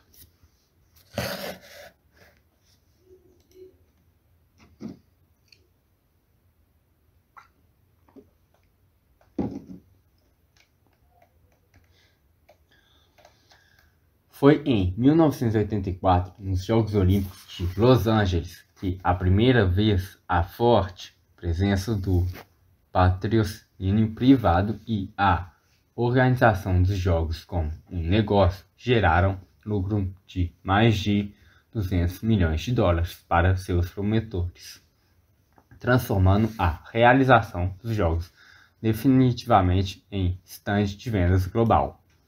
Medidas pelos organismos para estatais de promoção dos jogos, como FIFA e COI, e por meio de ativismo dos próprios governos. Copa do Mundo e Olimpíadas passaram então crescentemente a construir uma espécie de branding, uma grande marca capaz de conferir a legitimidade de sua aura feita de paixões nacionalistas e performáticas a todos os produtos associados ao evento. Um dos elementos fundamentais dessa estratégia de marketing é a visibilidade do evento. Milhões de pessoas assistem simultaneamente aos jogos, outros bilhões são bombardeados meses, meses e até anos antes de sua realização, configurando uma operação educacional de grandes proporções.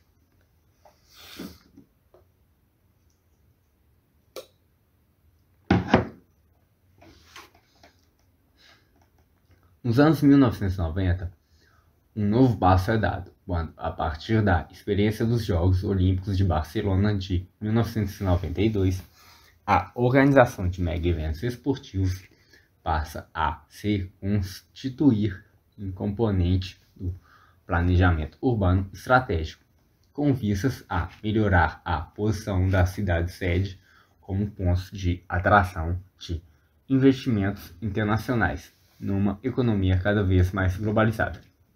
De lá para cá, a estratégia de desenvolvimento econômico das cidades, que inclui a renovação da infraestrutura urbana em a abertura de novas frentes de expansão imobiliária relacionadas aos jogos, converteu-se no enfoque hegemônico da realização dos mega eventos esportivos internacionais é o chamado legado urbano do evento. Agora não são vendidos apenas os produtos associados aos jogos, mas também a própria cidade, exposta numa vitrine global impulsionada pela mobilização de corpos e almas propiciada pela competição esportiva.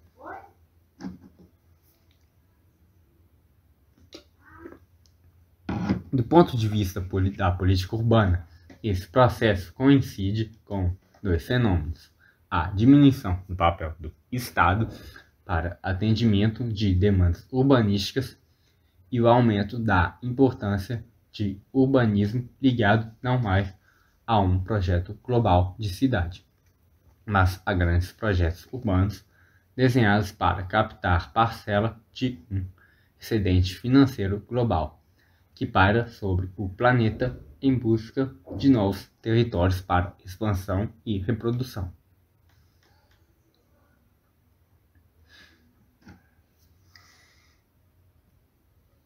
A lógica do legado urbano dos mega-eventos pode ser entendida no âmbito do que ocorreu com o mercado imobiliário e de terras que, com a globalização, passou a ser parte fundamental do circuito financeiro internacional.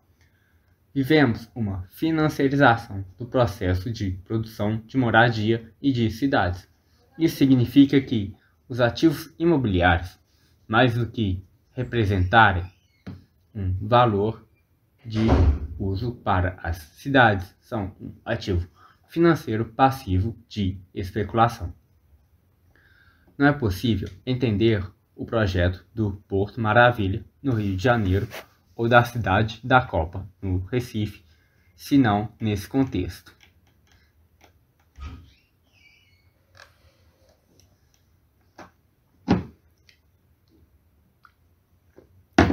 Evidentemente, essas operações e essa lógica não são decorrentes da organização dos mega eventos esportivos e não surgem a partir dela.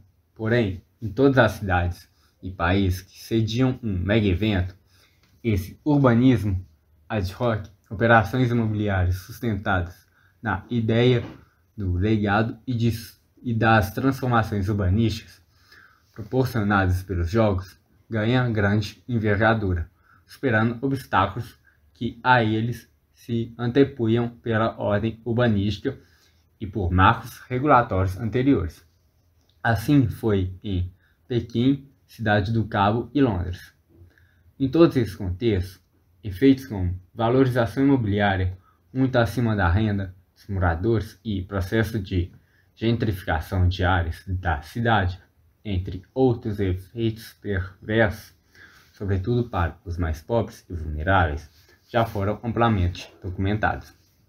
Ocorre que, em países emergentes como o Brasil, a Índia e a África do Sul, onde existem menos muitos assentamentos informais de baixa renda, como favelas, loteamentos irregulares e ocupações, a realização desse tipo de operação se dá sobre um tecido urbano marcado pela precariedade de seu território e pela ambiguidade da condição de inserção de seus cidadãos.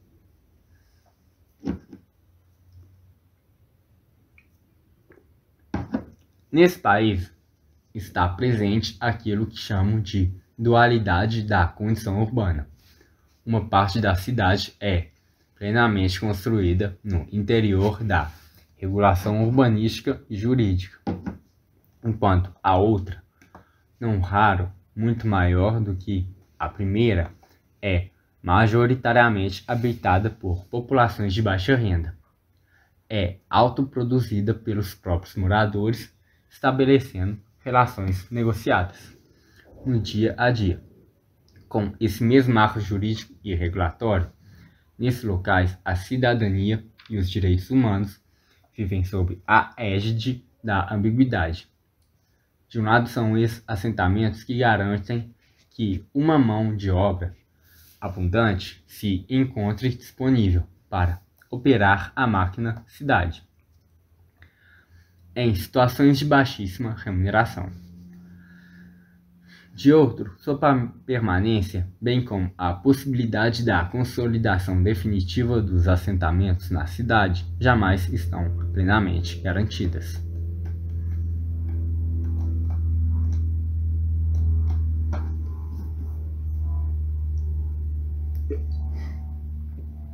No contexto da realização dos grandes projetos urbanos, essas são exatamente as áreas marcadas para morrer. Afinal, por não serem oficiais, não precisam receber os pesados valores de indenização para cair fora dali. Por serem precárias, ganham a justificativa de que a sua eliminação representará um ganho não somente para a cidade, mas também para os moradores, que passarão a obter condições mais permanentes e dignas de vida. Entretanto, dada a forma pela qual as remoções têm sido feitas nesse contexto, não é essa a realidade enfrentada pelas comunidades que viveram e vivem a experiência de estar no meio do caminho desses projetos. O que se vê são pessoas e famílias inteiras serem removidas de suas casas, não importa se vivem ali alguns anos ou meses ou décadas, sem nenhum respeito por seus direitos ou pela vida que construíram nesse lugar. Com a justificativa da ilegalidade, a remoção se dá, em geral, sem pagamento de indenizações, que, quando existem, contemplam apenas a benfeitoria, a casa, desconsiderando completamente o valor da terra, mesmo num contexto como o brasileiro, em que a Constituição e a legislação garantem esse reconhecimento. Em muitos outros casos, paga-se um auxílio aluguel no, de valor irrisório por alguns meses. E isso é tudo.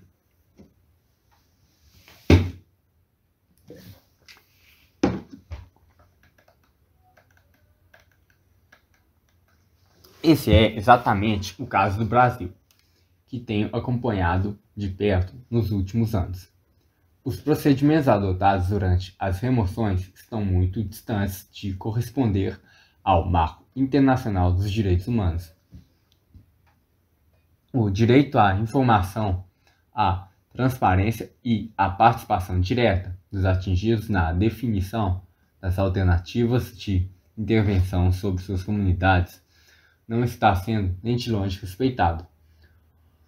O modo como são feitas as remoções e reassentamentos, no geral, é completamente obscuro. Não estão disponíveis em nenhum lugar nem nos projetos formulados pelas cidades, nem na matriz de responsabilidades assinadas entre os governos para viabilizar o financiamento público de obras de infraestrutura.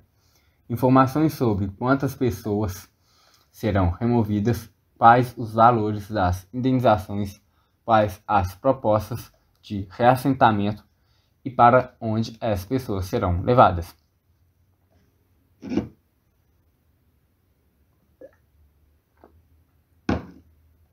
De acordo com as leis internacionais sobre o direito à moradia, das quais o Brasil é signatário, quando uma remoção precisa ser de fato realizada, a comunidade tem o direito de conhecer o projeto, de discuti-lo discuti e de apresentar alternativas. Tem também o direito de contar com um organismo independente que lhe dê assistência técnica e jurídica para acompanhar o caso, por exemplo, a universidade pública. Mas não é assim que vem acontecendo. Os funcionários das prefeituras simplesmente vão às comunidades e pintam um número na parede. É dessa forma que as famílias ficam sabendo que não mais poderão permanecer ali. Além disso, como já foi dito, as compensações financeiras têm sido totalmente insuficientes para garantir o direito à moradia adequada dessas pessoas em outro local. E, em grande parte dos casos, quando houve reassentamento, isso se deu em áreas muito distantes de moradia original, prejudicando os moradores, no caso, aos locais de trabalho. Os manuseios de sobrevivência e a rede econômica que lhes permite sobreviver o sobreviver na cidade.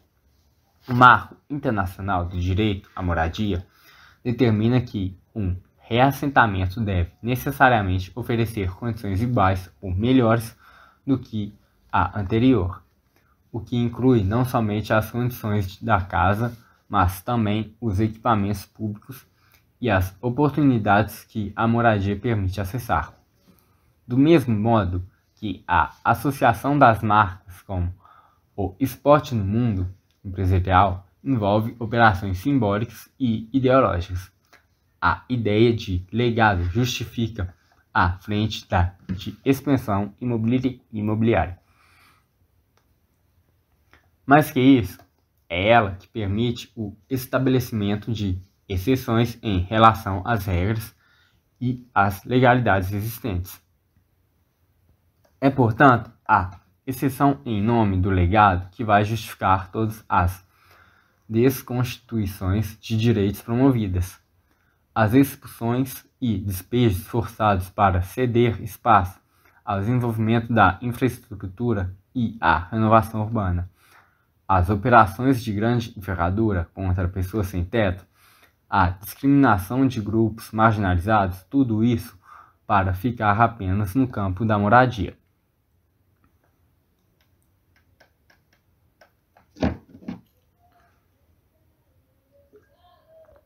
É evidente que sediar grandes eventos esportivos traz ganhos dinâmica econômica.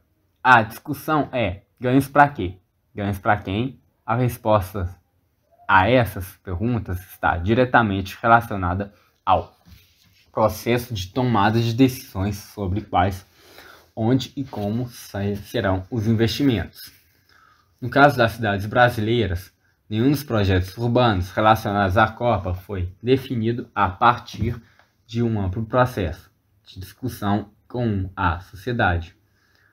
Uma enorme quantidade de dinheiro e de investimentos é mobilizada se a lógica fosse outra, poderíamos ter aproveitado a oportunidade para urbanizar e qualificar assentamentos onde vivem famílias de baixa renda, a fim de consolidar e garantir seu espaço nas cidades, ou planejar obras de mobilidade capazes de atender às prioridades de deslocamento para da população da cidade. Obviamente, nada disso foi feito.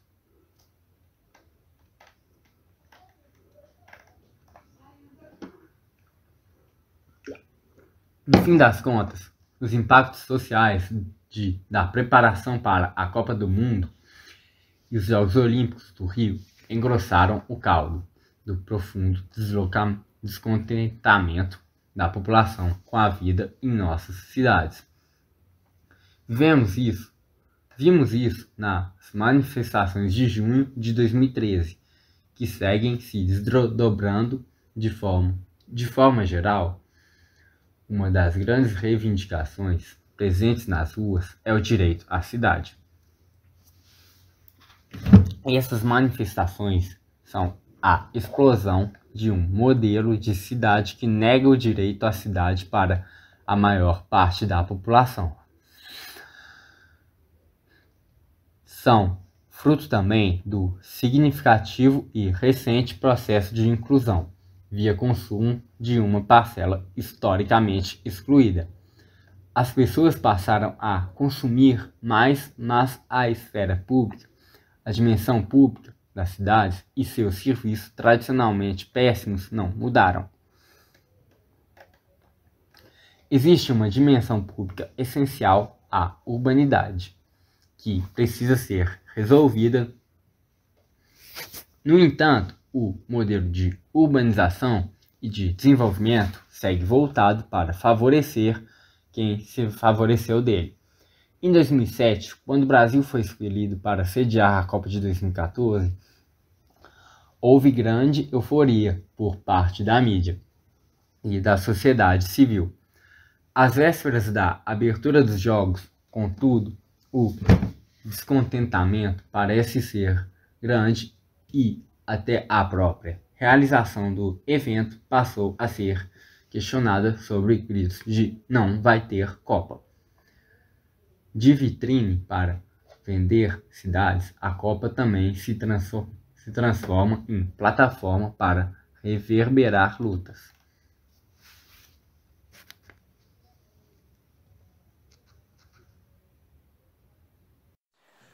Como serão nossas cidades após a Copa e as Olimpíadas? Carlos Weiner.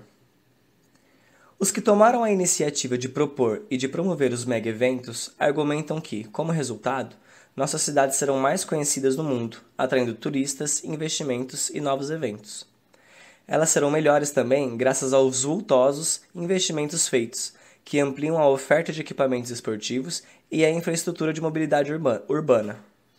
Nessa versão, a própria preparação das cidades já as tornaria melhores, porque os investimentos geram empregos e riqueza. Para usar a linguagem que se tornou chavão dos dirigentes da FIFA e do COI, dos governantes, políticos e da grande mídia, os mega eventos esportivos deixarão um importante e valioso legado urbano.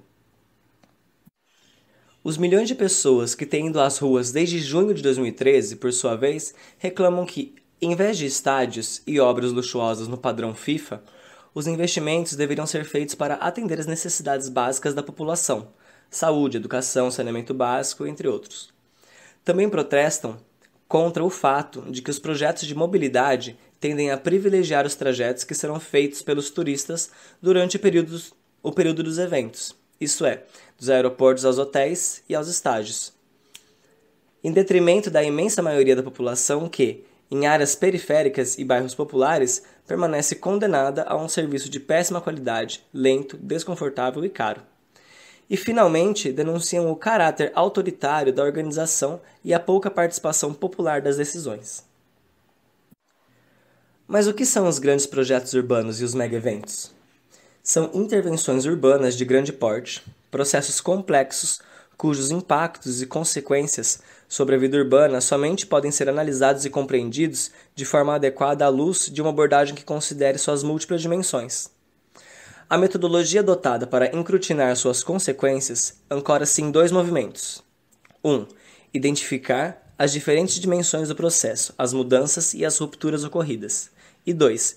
Discutir se e em que medida tais mudanças e rupturas em cada dimensão contribuem ou não para que nossas cidades sejam mais justas e democráticas, critério que se assume como aceito universalmente para avaliar políticas e intervenções urbanas. É o que se realiza de maneira muito sumária a seguir. Dimensão institucional. Destaca-se nessa dimensão o surgimento de novos tipos de arranjo institucional e administrativo.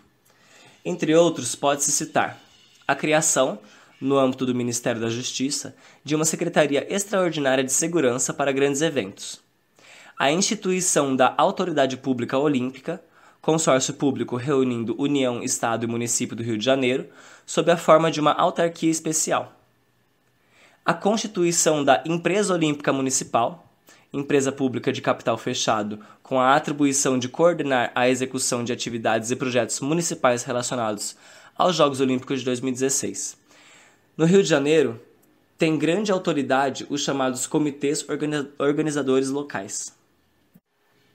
Assim, nos níveis federal, estadual e municipal, à margem das instituições governamentais regulares, constituíram-se agências e órgãos especiais, ad hoc, aos quais foram delegadas atribuições e responsabilidades de governo. Configura-se um governo paralelo, de exceção, à margem das constituições e legislação, quase sempre fora de qualquer controle social e político, agindo de forma arbitrária, quando não em aberta violação da lei. Em nome de uma eficiência que a preparação dos mega-eventos entre nós está longe de comprovar, perde-se em transparência o controle político e social golpeia-se, enfim, a democracia urbana. Dimensão urbanística. Examinemos os grandes equipamentos e projetos que introduzem descontinuidades na malha e na paisagem urbana pré-existentes, bem como suas reconfigurações ou expansões. Olhemos para os estádios. No caso do Rio de Janeiro, para o Parque, para o Parque Olímpico e para a Vila Olímpica. A pretexto de renovar nossos estádios, os padrões impostos pela FIFA e pelo COI foram adotados de maneira subser subserviente, gerando espaços elitistas e elitizados, características que os processos de privatização apenas acentuam. Espaços tradicionais e populares foram destruídos, como a Fonte Nova, desfigurados, como Maracanã, ou simplesmente condenados ao abandono, como Pacaembu. Há de se referir também aos inúmeros projetos de aburguesamento de extensas áreas em processo de valorização, promovendo a limpeza social e étnica. Estima-se entre 200 e 250 mil o número de pessoas removidas, quase sempre reassentadas em conjuntos precários, em zonas carentes de urbanização, distantes da antiga moradia e do mercado de trabalho. Estão emergindo dos mega-eventos cidades mais desiguais, socialmente mais segregadas, nas quais os eventuais benefícios dos investimentos realizados são apropriados pelas camadas de renda média e alta, mas, sobretudo, pelos detentores da propriedade fundiária e pelo, pelos capitais da promoção imobiliária. Dimensão legal. Interessa-nos nesse ponto chamar a atenção para a criação de regras ad hoc, que geram descontinuidades no espaço legal da cidade e promovem a cidade de exceção. O caso que ganhou maior notoriedade foi o da Lei Geral da Copa, que viola abertamente o Estatuto do, do Torcedor e o Código de Defesa do Consumidor, ao autorizar o consumo de bebidas alcoólicas nos estádios e favorecer monopólios comerciais e vendas casadas ilegais. Subsídios e favores fiscais, o regime diferenciado de contratações, proteções especiais às marcas da FIFA e do COI e liberdade aos municípios e estados para se endividarem além dos limites autorizados pela Lei de Responsabilidade Fiscal são outras tantas aberrações legais. Todo esse aparato de leis de exceção lança, lança a cidade numa terra de ninguém, entre o direito público e o fato político na situação paradoxal de medidas jurídicas que não podem ser compreendidas no plano do direito. A democracia é sacrificada no altar da cidade de exceção e da democracia direta do capital. Dimensão fundiária imobiliária. Nossas cidades estão confrontadas à valorização acelerada do solo, que resulta de fortes movimentos especulativos favorecidos pelas intervenções governamentais.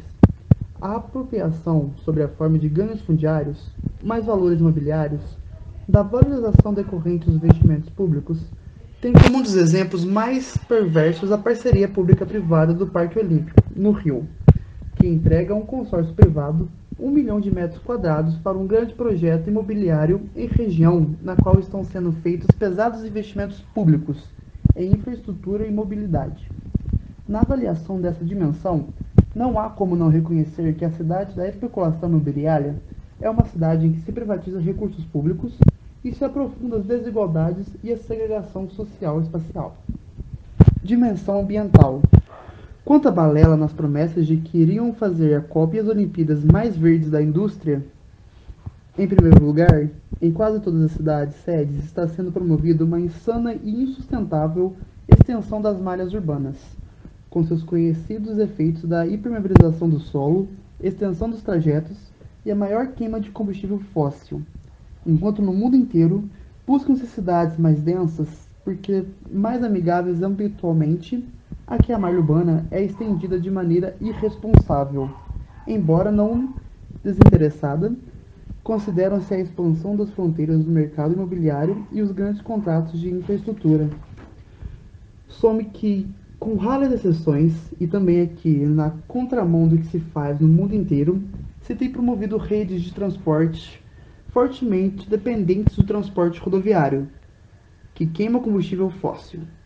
Os sistemas de ônibus segregados, de uma maneira colonizada, se resolveu batizar de BRT, Bus Rapid Transit, que deveriam, no máximo, ser complementares em virtude de seus impactos ambientais e baixo desempenho como modal de transporte de massa, tornando-se um novo modelo. O resultado serão cidades carbono indensas e ambientalmente irresponsáveis. Dimensão escalar. Sobre essa qualificação, pretende-se examinar a reconfiguração das relações entre as esferas local, nacional e internacional, tanto do ponto de vista financeiro econômico quanto político observou-se uma estreia solidariedade entre os governantes de três níveis federativos, independentemente de suas filiações partidárias. A União irrigou estados e municípios com recursos diretos ou financiamentos favorecidos do BNDES. Cabe mencionar ainda a presença de grandes corporações nacionais e estrangeiras na maioria dos contratos públicos expressando a construção de verdadeiros quartéis estruturados em torno da FIFA e do COI. De fato, Os mega-eventos seriam incompreensíveis se não fossem considerados a extensa e complexa rede de forças e interesses econômicos e políticos que se articulam nos âmbitos global, nacional, regional e local. Nas cidades emergem dos mega-eventos, portanto, mais dependentes e subordinadas, os grandes capitais internacionais feudalizados por grandes empreiteiras nacionais. Segue a terceira parte do trabalho de leitura do livro Brasil em Jogo, lida por Otávio Henrique de Carvalho Silva. Dimensão simbólica. A todo tempo, os promotores dos mega-eventos proclamam estar em busca de produzir e projetar novas imagens e representações acerca das cidades, de modo a situá-la no mercado global de cidades onde se disputam capitais, turistas, eventos, etc. Nesse sentido, prometem como legado cidades competitivas em escala global. Nesse ponto, parece que o resultado será muito diferente daquele pretendido. Nossas cidades hoje são mais conhecidas no mundo como lugares de conflito que de beleza e paz social. Se isso não constitui necessariamente um elemento negativo, pois a conflituosidade é sinal de vida cidadã e de potencialidade democrática. Certamente é muito distante do que pretendiam os homens do marketing urbano que os tantos anos sustentaram as candidaturas de realizações da Copa e das Olimpíadas no Brasil. Ademais, ao invés de uma imagem de modernidade e eficiência, o que se propaga pelo mundo são os atrasos das obras, a improvisação, acidentes de trabalhos fatais e a falência das políticas de segurança pública. Dimensão política. Se a pretensão original era da consolidação de colisões dominantes no nível municipal, estadual e federal, o tiro parece ter saído pela culatra. As multitudinárias manifestações questionaram os arranjos de poder dominantes e instalaram no centro da esfera pública milhões de novos atores, particularmente os jovens urbanos. A vitalidade, a riqueza e a diversidade dos protestos desnudam a crise profunda da democracia restringida, resultante da transição controlada que levou o país da ditadura militar ao regime da Constituição de 1988. É sábio como as autoridades públicas ficaram perplexas diante dessas manifestações, e foi largamente documentado, embora muitas vezes a apenas pelas mídias alternativas e redes sociais a brutalidade com que, em muitos casos, agiu a repressão política, uma violação aberta do direito de livre manifestação e expressão.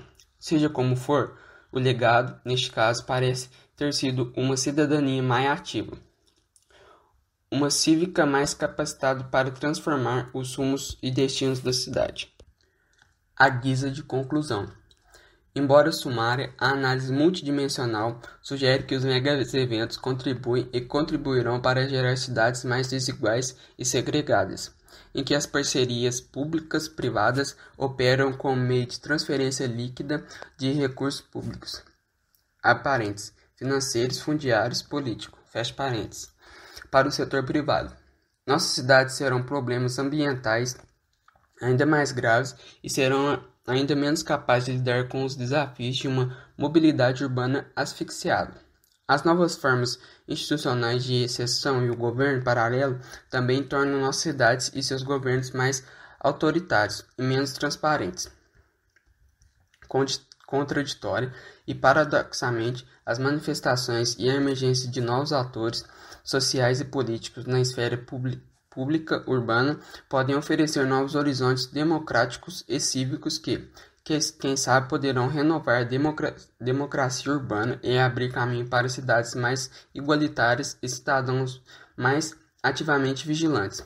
Embora não tenham sido provocados exclusivamente pelos mega-eventos, os movimentos sociais não podem ser entendidos sem esses e, pa e, parecem ser o principal legado positivo na Copa de 2014 e das Olimpíadas de 2016.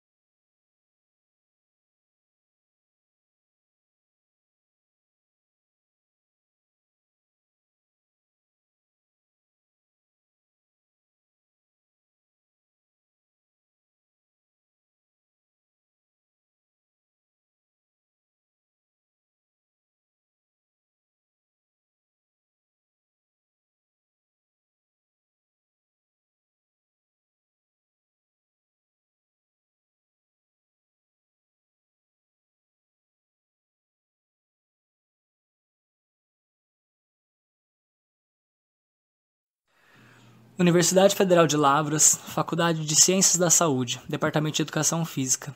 Disciplina GFD 105, Estudos Socioculturais, Educação Física e Esporte e Lazer. Professor Márcio Farias. Grupo 8. Integrantes: Milton Schiavone Brito, Otávio Henrique de Carvalho Silva, Pedro Barbosa de Oliveira Lima, Pedro Henri Lopes Olivier e Pedro Henrique Abraão Dias. A Copa, a imagem do Brasil e a Batalha da Comunicação. Antônio Lassance. A Copa jogada para escanteio. Sobraram críticos e faltaram adeptos para defender a Copa do Mundo no Brasil. Até as corporações midiáticas que transmitem e lucram com o espetáculo, a empresa desportiva e os cartolas da FIFA externaram sua decepção. Todos contribuíram para a imagem de uma Copa bola murcha. O incômodo da FIFA deveria ser visto com alegria pelos cidadãos do país do futebol e pelos amantes desse esporte. Afinal, se Joseph Blatter e Jeremy Valk não gostaram do que viram nos protestos, em grande medida é porque a entidade nunca foi tão criticada, tão exposta e tão ameaçada na realização de um Mundial. A FIFA que se cuide. Depois do Brasil, os mundiais de futebol nunca mais serão os mesmos. Definitivamente, o evento entrou no calendário de protestos anti-globalização e de modo inédito.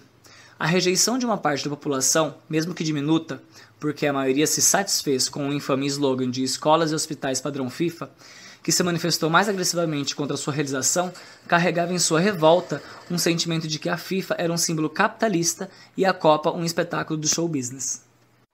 Para alguns, a Copa tinha uma pontinha do que não havia começado na reunião da Organização Mundial do Comércio, OMC, em Seattle, em 99. Se desdobrou em Praga, 2000, e terminou tragicamente em Gênova, 2001. O legado desses protestos foram a morte do estudante Carlo Giuliani em Gênova e a disseminação internacional da tática Black Bloc. Mas a OMC, o G8, o Fundo Monetário Internacional, FMI, e o Banco Mundial não se tornaram melhores com aqueles protestos. Da mesma forma, os protestos contra a Copa não irão melhorar a saúde, educação e a mobilidade urbana. A revolta é até compreensível, mas inócua. A Copa é um alvo ruim para, para os protestos, na medida em que ataca o na medida em que ataca um esporte que é uma paixão popular e em muito se difere da OMC, do FMI e do Banco Mundial. A Copa sempre foi um alvo errado dos protestos. É o arremedo de quem malha o Judas fingindo que enfrenta o Império Romano. Os, movimento, os movimentos anti-Copa são um revival do ludismo, pois lembram Ned Ludd e seu movimento no século XIX de invadir fábricas e quebrar máquinas, imaginando que assim seria possível vencer o capitalismo e seu maquinário. O ludismo dos empata-copa juntou grupos de esquerda e direita, intelectu intelectuais orgânicos, inorgânicos e energúmenos, e o cartão midiático nacional e de agências internacionais. Até mesmo os cronistas esportivos e a própria FIFA todos desconfiados uns dos outros, mas com alguma coisa em comum. A dedicação a passar a ideia de que no Brasil nada funciona, nada presta, nada vale a pena. O país não é sério. O brasileiro continua a ser um bestializado, um anti-euclidiano, pois é, antes de tudo, um fraco. Se o assunto no caso é o futebol, o coitado que se meteu a organizar a competição, se dependesse da turma do hashtag não vai ter Copa, não poderia sequer aproveitar o momento como torcedor, pois mais importante é ele se conscientizar de que ele não passa de uma hélice vítima da Copa. Diante da aposta no caos, o que era para ser uma festa se transformou, na melhor das hipóteses, em um grande e estressante desafio. Por outro lado, de positivo, o que era para ser um mega evento tornou-se uma questão de honra para o Brasil diante do mundo e de seu próprio povo. Como o Brasil perdeu a batalha da comunicação para a Copa. Como nunca antes em uma Copa do Mundo, a principal preocupação dos organizadores já não era se a sua seleção iria ganhar ou perder a competição, e sim se o país sobreviveria à Copa, se passaria muita ou pouca vergonha diante do mundo. Os problemas enfrentados para sua realização e o desmoronamento da opinião pública favorável ao evento deixou muitos governos prostrados. A maioria deles demorou para acordar demorou a acordar para o fato de que o mais importante seria mostrar ao mundo do que o país é capaz. O que o evento movimenta de recursos é pouco diante do que ele representa em termos de imagem do Brasil no exterior. O país estimou gastar, de, gastar cerca de 8 bilhões de reais em estádios e pode ter recuperado mais do que isso só durante a Copa das Confederações. com um retorno proporcionado por investimentos, empregos, turismo, consumo e impostos. Foram 9,7 bilhões de reais de retorno, segundo pesquisas da Fundação Instituto de Pesquisas Econômicas, a FIP. Em pouco mais de uma década de governos do PT, o país passou a ser a oitava maior economia mundial, reduziu drasticamente a pobreza, mais do que qualquer outro país emergente. Tornou-se um dos países que mais expandiram sua classe média e seu mercado consumidor. O brasileiro mudou de figura também em outros, em outros aspectos. Tornou-se mais exigente, mais informado, mais conectado, mais crítico e mais estressado mais sujeito a engarrafamentos, mais suscetível a judicializar seus conflitos e mais exposto a novas mídias, nas quais imperam três lógicas paralelas: a da violência, o do escracho e da ostentação. E a Copa tornou-se um prato cheio para ser maltratado por essas três formas de se encarar o assunto: pela violência, pelo escracho e pela ostentação. Os governos, em todos os níveis, deram sua contribuição para fornecer matéria-prima à esculhambação contra a Copa os atrasos, o desperdício, de recursos, a falta de diálogo sobre prioridades, a ausência de uma política ativa de transparência em relação aos gastos, a visão meramente setorial e festiva do evento, a comunicação concentrada em veículos tradicionais e em mensagens de oba-oba e auê, e não a discussão da imagem do exterior e do legado para o país. Tudo isso contribuiu para que se formasse uma perfeita tempestade do contra. A comunicação governamental continua chamando de mídia técnica seu padrão tradicional de comunicação, que abastece o caixa das grandes corporações, corporações midiáticas sem estimular a pluralidade nem respeitar a segmentação do público consumidor de, de informações. Diante da modernidade, com a entrada avassaladora das mídias abrigadas pela internet, a única mudança significativa da política de comunicação à vista é a de trocar a Globo pelo Google como grande anunciante. Em termos da mensagem, outro erro de estratégia. Não se discutiu o legado, tão pouco a imagem do Brasil no exterior, nem se mostrou o avanço social por trás das obras. Mais importante para a reputação da organização do evento foi o fato de que muitos dirigentes governamentais foram os primeiros a propagar o descrédito em sua capacidade de cumprir compromissos e de entregar o prometido a tempo. No caso mais grave, por exemplo, o governo do estado do Paraná e a prefeitura de Curitiba simplesmente abandonaram seus compromissos com a Copa. No meio do caminho, quase comprometeram as obras da Arena da Baixada, uma das sedes. Como ganhar a batalha da comunicação quando os governos são os primeiros a bater em retirada? Não se viu, nem para a Copa, nem para muitos outros assuntos, um espírito parecido ao do governo da presidenta chilena Michelle Bachelet que convocou todos os, todos os seus ministros, independente da pasta, para percorrer o país a fim de defender sua reforma tributária. Menos ainda se viu alguém cumprir a lição do ex-presidente venezuelano Hugo Chávez, aquela que está no vídeo A Revolução Não Será Televisionada, de que todo e qualquer membro do governo deve visitar cada cidade do país para explicar tudo o que está acontecendo, não importa o assunto. Uma explicação que implica conversar com todos os veículos de comunicação, sem exceção, a começar pelos do interior. Muitos estados criaram secretarias de grandes eventos, mas não têm, até hoje, secretarias de participação popular.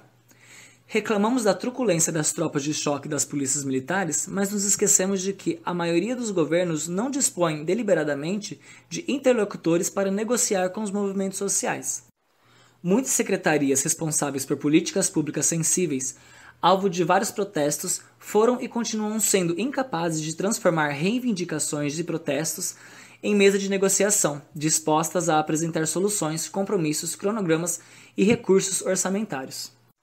O problema não é a Copa, são as políticas. A política de comunicação é uma delas.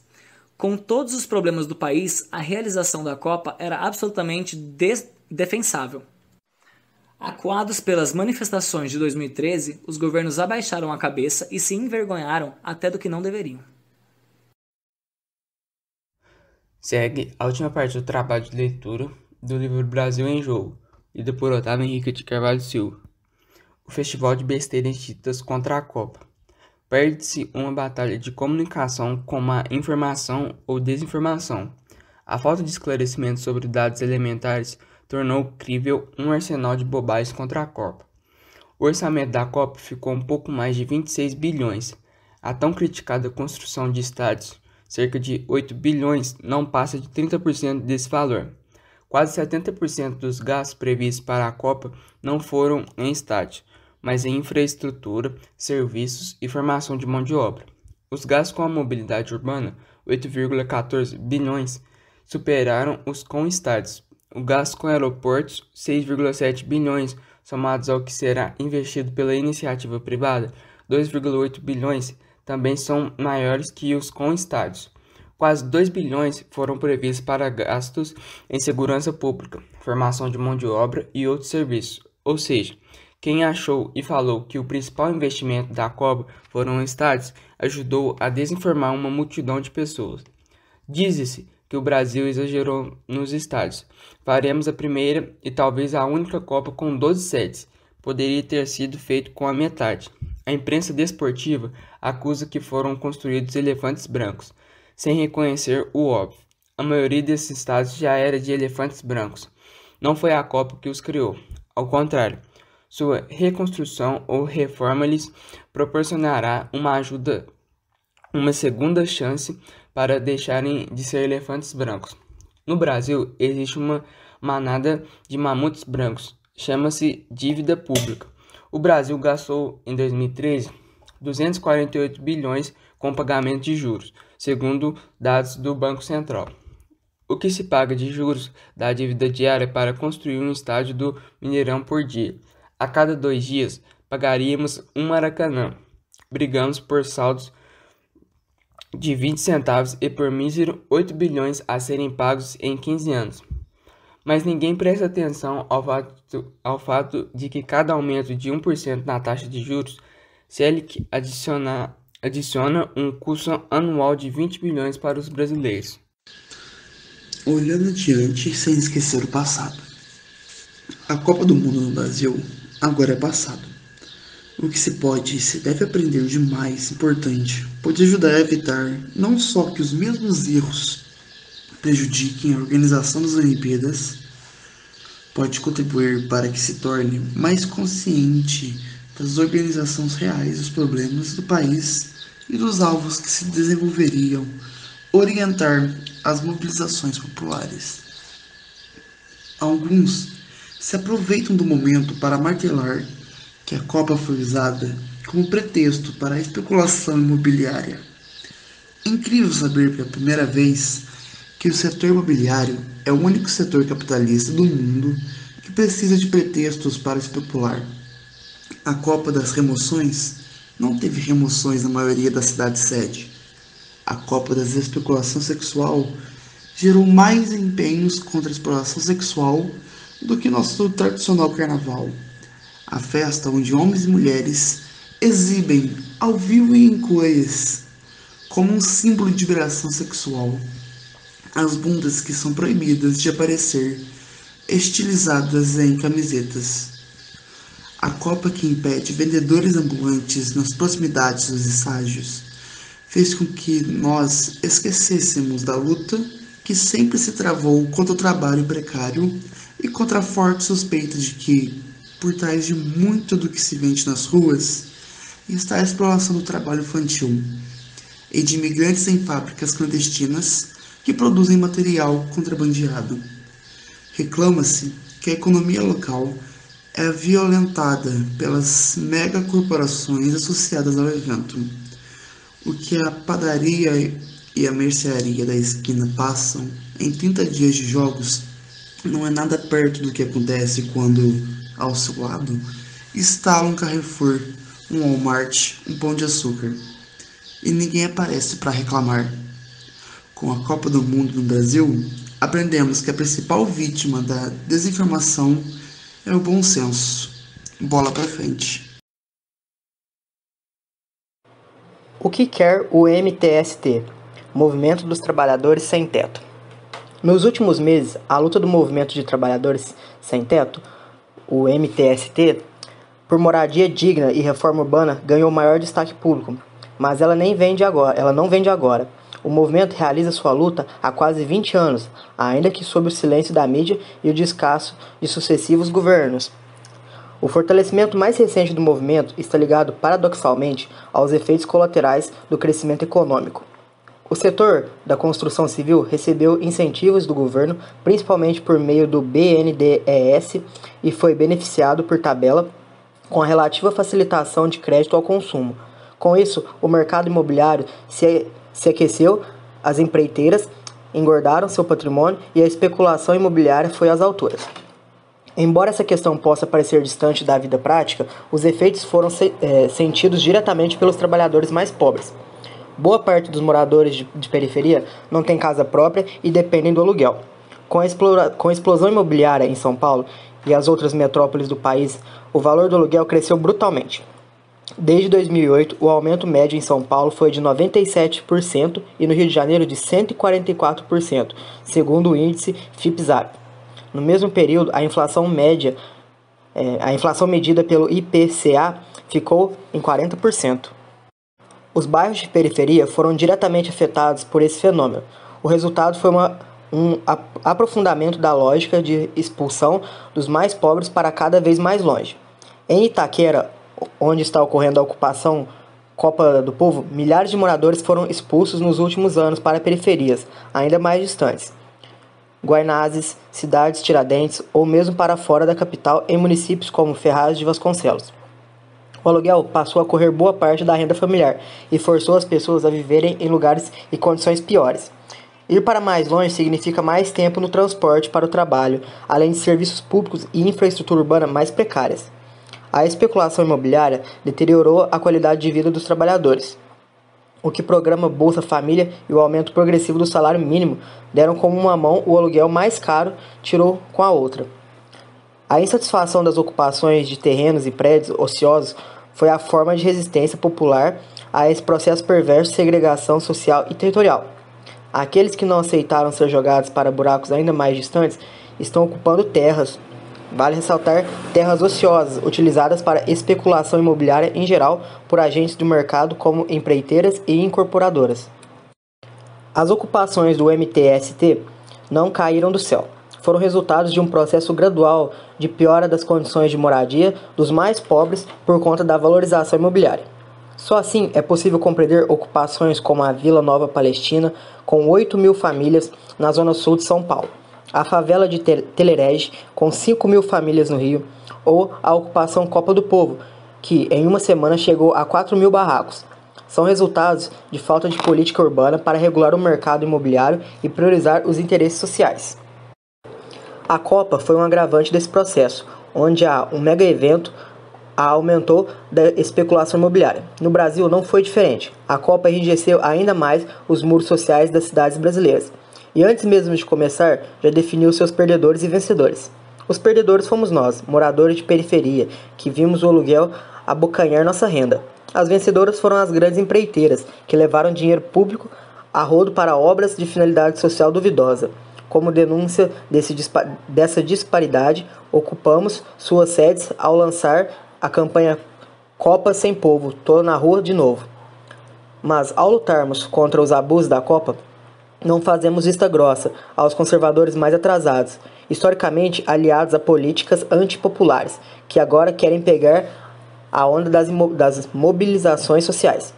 Se temos diferenças importantes com o governo Dilma, somos também categóricos em dizer que Aécio Neves, do PSDB, e Eduardo Campos, do PSB, não, não nos representam. Representam, ao contrário, o atraso neoliberal. Enfim, o que quer o, MS, o MTST com suas ocupações e mobilizações pelo país?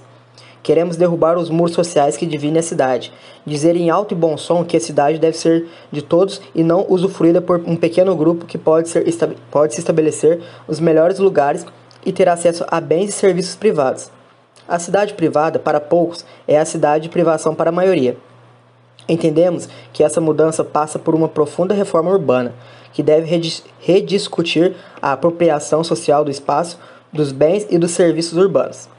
Entendemos ainda que uma mudança dessa natureza não virá do Congresso Nacional, como seus parlamentares financiados até o pescoço pelo capital imobiliário. Ela vem de baixo. A história dos povos ensina que as grandes transformações são resultados de movimentos populares de massa, que enfrentam as relações do poder constituídas. Chamamos isso de poder popular. É isso que quer o MTST. Cronologia dos mega-eventos esportivos. Século 8 a.C. ao século 4 d.C. Em honra eram realizados jogos esportivos no tempo de Olímpia, na Grécia. Suas origens confundem-se com relatos mitológicos, mas considera-se que a primeira edição dessas competições pan-helenísticas ocorreu em 776 a.C. Atribui-se seu declínio à dominação romana a partir do século II a.C. e seu desaparecimento foi decretado pelo imperador Teodósio I, que cristão abolira os jogos em 393 d.C. 1894. Almejando um renascimento dos Jogos Olímpicos, os praticados na antiguidade, o barão Pierre de Coubertin fundado, funda em Paris o Comitê Olímpico Internacional, COI, apoiado por um grupo de aristocratas europeus.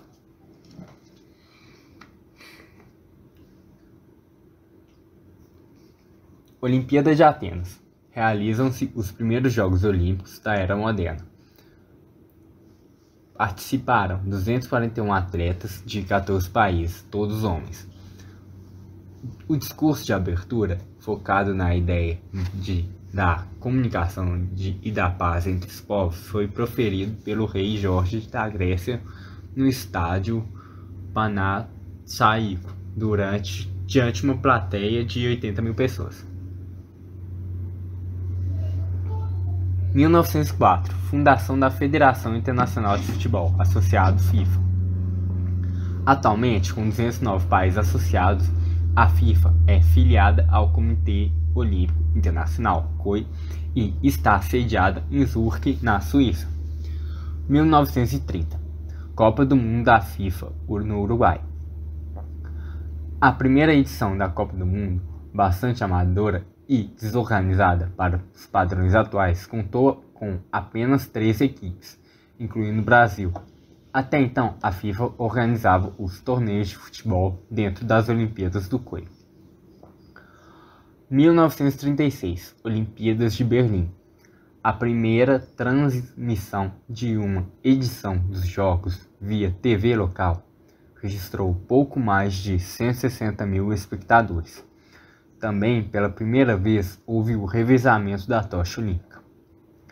1948 Olimpíadas de Londres Após uma interrupção de 12 anos por conta da Segunda Guerra Mundial e com a morte do Barão de Coubertin em 1937, os Jogos Olímpicos só voltaram a ser realizados graças a um grande empenho do COI, que ameaçava ruir.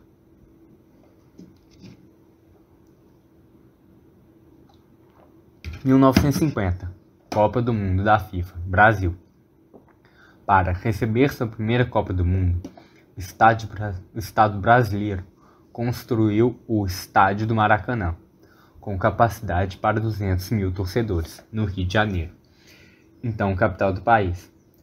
Em plena ascensão e consolidando-se como potência futebolística, a derrota para, a, para o Uruguai na final abalou sensivelmente o público da casa. 1958 a 1975, presidência de John Haveland na Confederação Brasileira de, Esportes, de CBD, entidade responsável à época pela organização de todo o esporte no país. Atualmente, cada modalidade tem sua própria confederação, como a CBF. 1972 Olimpíadas de Munique 11 atletas israelenses são mortos por terroristas palestinos, registrados por, registrados por redes de televisão internacionais. Os dramáticos momentos do sequestro da delegação quase culminaram na suspensão do evento. 1974. Com o apoio de Ross Dessler, proprietário da Adidas e fundador da ISL, o brasileiro John Heverin é eleito o sétimo presidente da FIFA.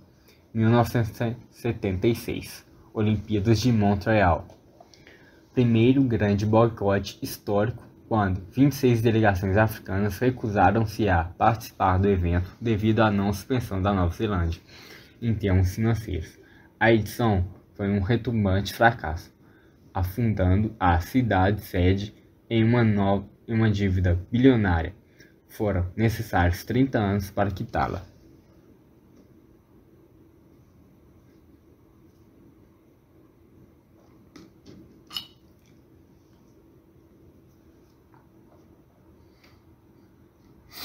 1980 Olimpíadas de Moscou. A edição foi marcada pelo maior boicote histórico ao evento quando 66 delegações se recusaram a pisar no solo soviético. De 1980 a 2001, o catalão Juan Antônio Samaranch assume a presidência do COI, que sofria então uma crise financeira e política. Durante seu longo mandato, Samaranch soube explorar o lado comercial e publicitário do esporte, inaugurando uma nova área era de, da identidade.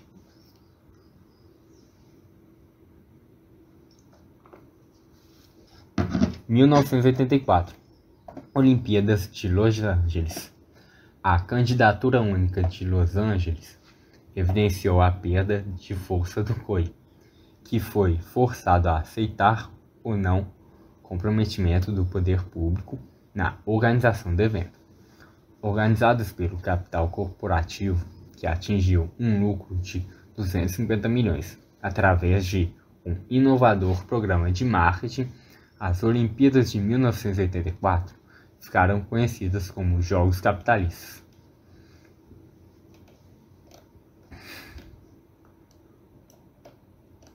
(1996) Olimpíadas de Atlanta a captação de recursos para a realização dos Jogos Olímpicos, através da venda de espaços publicitários em várias em vias públicas, não agradou nem aos parceiros do COI, nem à imprensa, provocando desvalorização da marca olímpica. Tal situação acarretou profundas mudanças nas regras do COI em sua relação com as cidades sedes. Em 1988, John Heaven renuncia à presidência da FIFA, é eleito o suíço Joseph Sepp Blatter no poder desde então. 1992, Olimpíadas de Barcelona.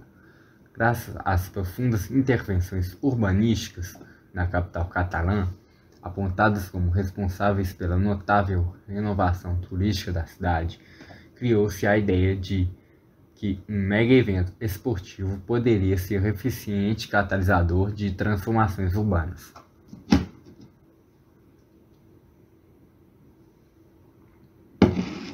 (1998) Copa do Mundo da FIFA, França.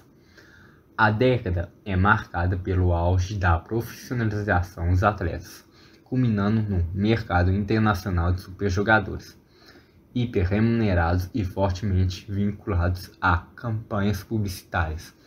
A exploração em excesso da imagem chega a ser apontada como causa do colapso que afetou o jogador Ronaldo horas antes da, horas antes da final, quando o Brasil amargou uma derrota de 3 a 0.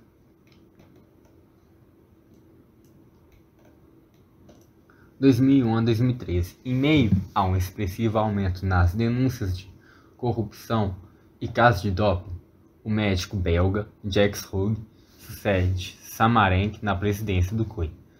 Seu mandato ficou marcado pela preferência em eleger países menos desenvolvidos para a recepção de, dos Jogos Olímpicos. 2002 Olimpíadas de Inverno de Salt Lake City um grave escândalo de corrupção denunciou a distribuição de presentes e dinheiro para funcionários do COI em troca de votos para a eleição da cidade estadunidense. O episódio chegou a ser classificado por Samarém como o pior visto dentro do COI e motivou uma reestruturação nas regras para a escolha da cidade sede.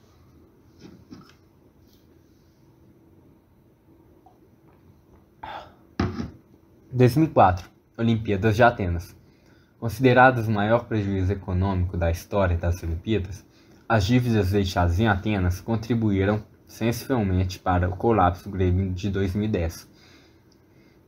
2007 Jogos Pan-Americanos do Rio de Janeiro. O projeto Rio 2007 foi elaborado para servir como base de sustentação para a candidatura da cidade dos, aos Jogos Olímpicos de 2012 e já concentrava a maior parte de seus equipamentos na Barra da Tijuca, alvo de grande interesse do capital imobiliário. Sua implementação custou 10 vezes mais que o orçamento original. 2008 Olimpíadas de Pequim com investimentos megalomaníacos, a China se firma perante o mundo como potência industrial, mas rapidamente evidenciaram-se os ociosos elefantes brancos deixados pela cidade, aclamando durante os jogos o icônico ninho de pássaro ainda corre risco de ser demolido. 2011 Heaven deixa o COI por motivos de saúde, interrompendo a realização de uma comissão de ética para investigar ocorrência de propina envolvendo a ESL. Ele surgiu como presidente honorário da FIFA até 2013. No mesmo ano, o jornalista investigativo Andrews Jennings participa de audiência pública na Comissão de Educação, Esporte e Cultura em Brasília.